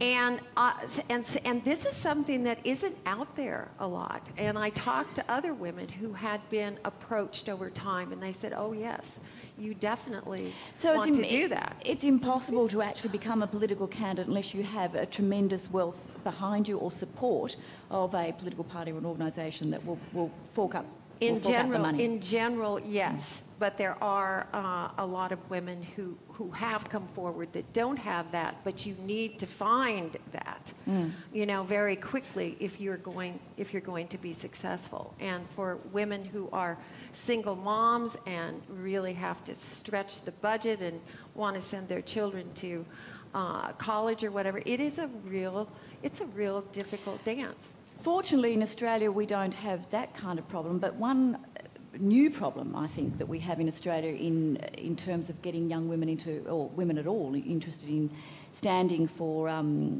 for uh, Parliament, is that we've recently had our first female Prime Minister, as we've had our first female Governor General. Both are gone now. We at one stage had um, three uh, female Chief Ministers or um, Premiers, um, all but one of those uh, are gone. And the, the media backlash and scrutiny of those women in power was so vile that a lot of women, I think, have been turned off yes. from um, the right. idea of entering politics or even trying to get their hands on the lever, levers of power, which has been a real disincentive yes. um, and quite an ugly one in this country. Um, what about in Indonesia in regard you know, to that? Because, of course, you are grappling with vote buying and corruption also. Yeah, I mean it's it's it's the same the same problem. It's just that uh, a lot of women are not seeing this incentive for being inside the government.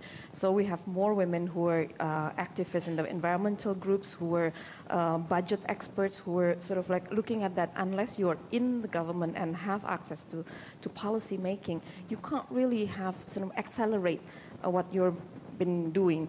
And I think uh, the, the issues of uh, sort of money for politics and money politics is a different thing. Uh, same, it's a concern of all, not just, mm. not just women. On men mm. also thinks that it's, it's really costly to, to run for office. And I think that would be a common agenda. Mm. True. Uh, we have some questions. A microphone just up here. Um, sorry, down here. Uh, yeah, Christy McFarlane from the National Australia Bank. Um, we've touched on a few times both last night and today uh, around flexible working, and I guess I see that flexibility is a huge enabler for this um, conversation. Uh, I'm interested to hear though, we have a lot of, uh, or more and more females that we're starting to see in leadership roles, which is fantastic, but um, very rarely do you see them actually working in a part-time capacity. Mm-hmm. So flexible working, you touched on, Jane, um, around location and where you're working and hot desking, and that's fantastic for flexibility. But if you think about it from a part-time perspective, um, I'd love to hear your views on why we don't see more females working part-time in very senior roles, um, more at the more junior levels, I guess. And if you think about your 80% um, participation rate in your with your females, mm. um, what part time looks like from that perspective. So um, my last department had a very high level of part time, uh, but I think we should acknowledge it's not just part time for women; it's part time for men as well. Um, in fact, the most innovative model I've seen actually is a couple who actually shared a job. Mm. They did. They shared a job. Um, they had a handover midweek at home, and then the other person came in and did the other half of the job. Great. Did it work? It worked. Idea. It worked incredibly well. I, have actually now had a number of circumstances where people have come to me and said, uh, and these aren't just all married couples, I should say, where at senior levels, senior executive service levels, uh, people, and I've, I've got one at the moment, a man and a woman, not married to each other, not otherwise related, I don't think who have come and said, for a variety of personal reasons, uh, we've actually discovered that we both want to work part time. We think we can both do this job. Would you be happy? Absolutely. Mm-hmm. Absolutely. And boy, are they the ultimate hot deskers. But you, you are an exception in accepting that because that is not the norm. No, no, it isn't. It's not even the norm in, in, in media where no, I work. No, no. But let's also be clear. I mean, it's a bit the comment about being first. And, and you've made that point here about politics and how it's vile in terms of how people get treated. There's a thing in one of the newspapers over the weekend about one of our local media people who wore the same suit for a year. Did any of you read that? He wore the same suit, probably was a bit smelly for an entire year, not one comment was made. His female co presenter, every time she wears something that someone disapproves of, she gets tweeted, abused, etc., etc., etc. So, so I think there is something about that, but there's also something about people like us, the people who are first just toughing it out. So I've had mm. more remarks about my hair, my mm. shoes, mm. the colour of my jacket when I go to Senate estimates. I'm wearing bright green on Thursday, just in case you're interested. You've got to make a statement. I want to so, see you wearing fiery red at Senate. I've done that. I've done that. I've done that. It was the Saint Laurent. It was to die for. Um, so, so one of the things, one of the things that, yes, you're right. This is unusual, but I think there are two things about this. One, I have to do it because I think this is one of the things we have to tackle. I also, when I had very small children, when I was summoned to Parliament House by a minister, I would take them with me. Yes when I was summoned at 8 o'clock at night or when I was summoned at 7.30 in the morning. And I would just stick one of them on my hip and drag them with me because if we the first don't do this, people won't follow. So and, it is possible. And you have done that, but with respect, and I think all the women on this panel fit into this category, and Anne-Marie certainly, you are super women uh, with strong personalities and, and um, the means to tough it out, as you say. Not all women can do that, and not all women feel necessarily that they've got the. Um, the, the ability to, to take a stand in that kind of way. Sally, you want to add to Well, that? this is why I think mentoring is mm. so, so important. And I, I'm imagining that all of us do mentoring. And I have found that in, in my work as I, as I have become older and more and more young women, and Anne Marie touched on it, are coming to me and saying, I want to do what you do or what you've done. And I say, well, not exactly the way I've done it because the cost, you know, the cost has been high. So in that mentoring, uh, we have an opportunity to take women to a new place uh, where there isn't the cost that we, we all have had because we walked into it without knowing what those costs were until we turned around and looked back and said, oh, wow.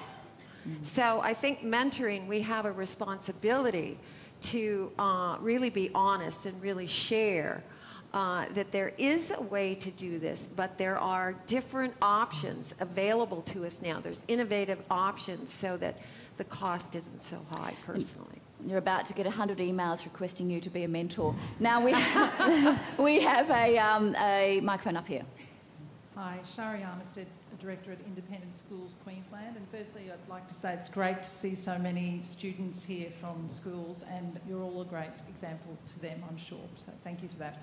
My question is to Sally regarding the uh, presidential race next year and whether uh, coming up, and whether or not um, do you think that Hillary Clinton will run, and if not um, her, but any other women, and whether the US is actually ready for embracing a uh, woman as the president.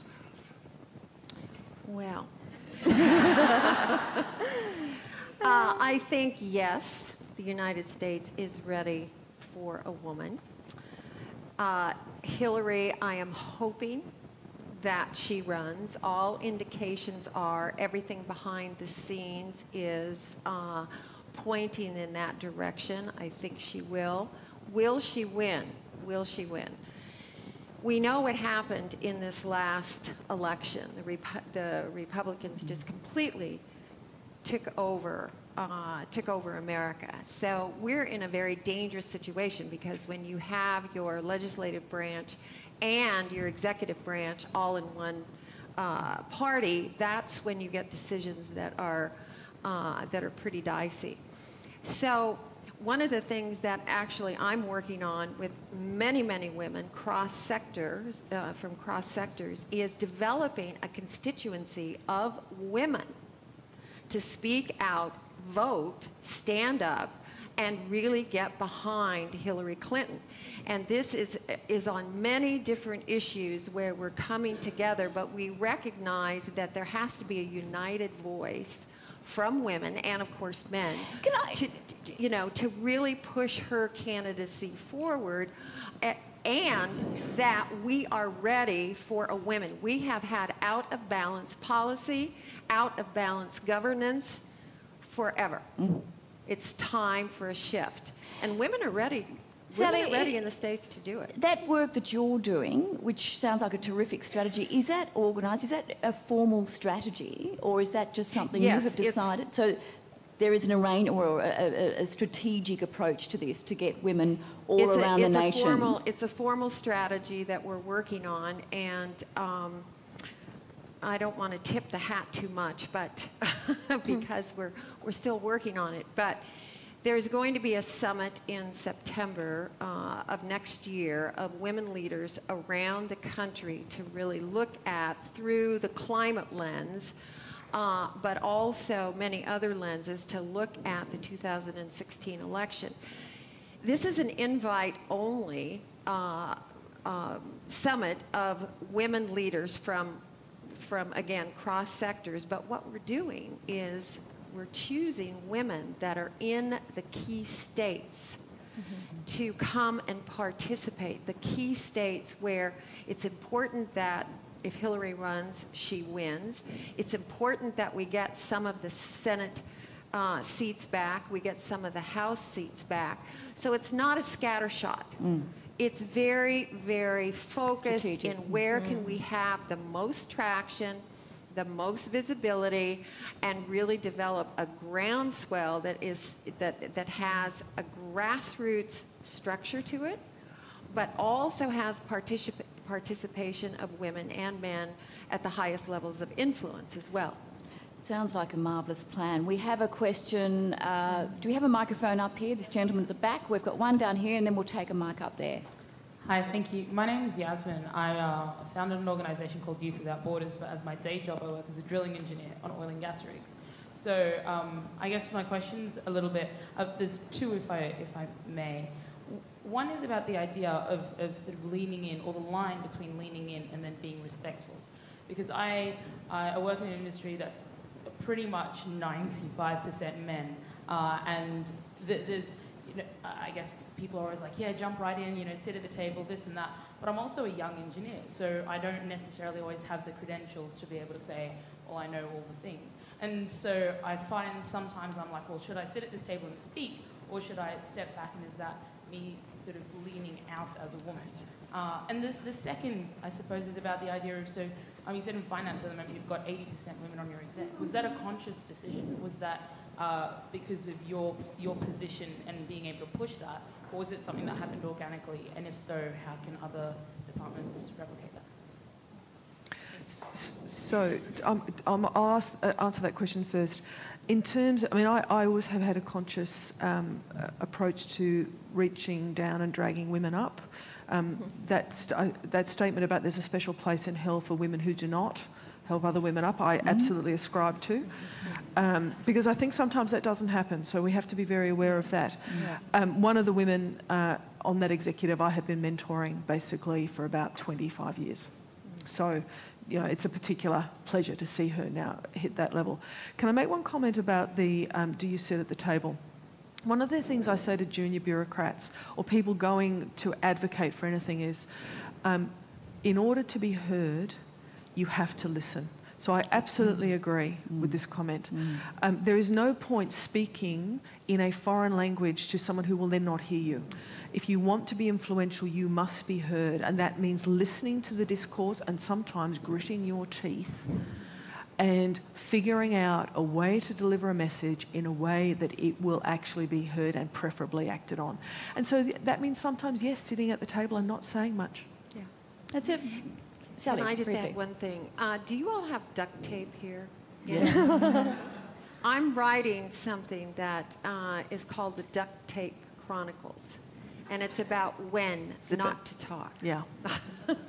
That's a really Because- tough one. because Yeah. it is, it really is knowing when not to say anything. And then just how to listen. say it when you And, say it. but- and yet we sit at meeting after meeting and have to listen to so many blokes banging on, sometimes Mm-hmm. filling the space. Sorry, I had to say that. the reason is- Wait, now, sorry, we do have a bloke who is going to ask a question, please. Thanks, Virginia. I'm going to bang on. We'll, Sure. give, we'll give you performance feedback in a second. I, I know you will, Jane. Uh, Russell Trude from Griffith. Um, No. Jane, uh, I, I wanted to pick up on this point about the success that you have had in the departments you have led with, with relation to equity.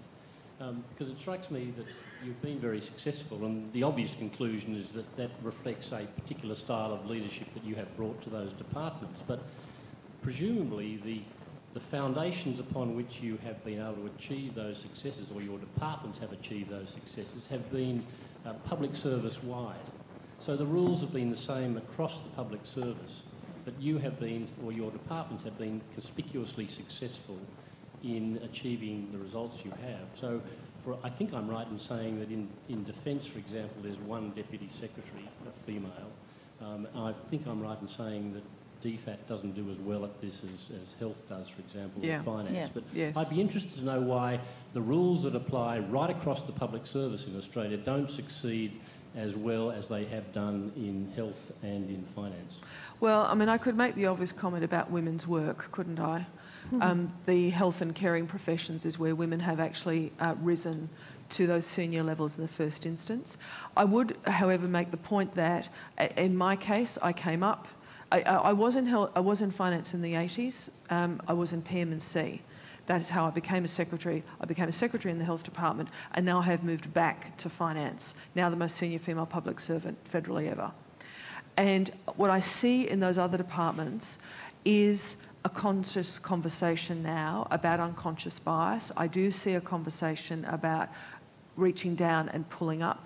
And yes, you're right. It, progress is not as it should be in those places, and it is not because of the absence of female economists. It is not because of the absence of women who've joined the military and who are determined to uh, hit the heights in those chosen professions.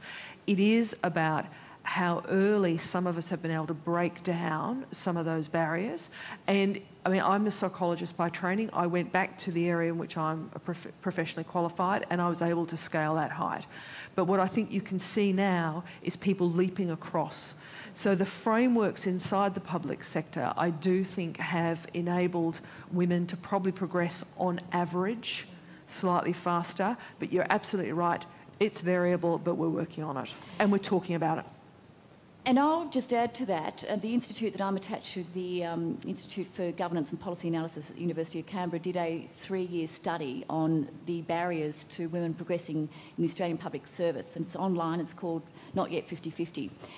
What we found was that the culture in departments varied greatly Yeah. and the difference was due to leadership at Absolutely. the top.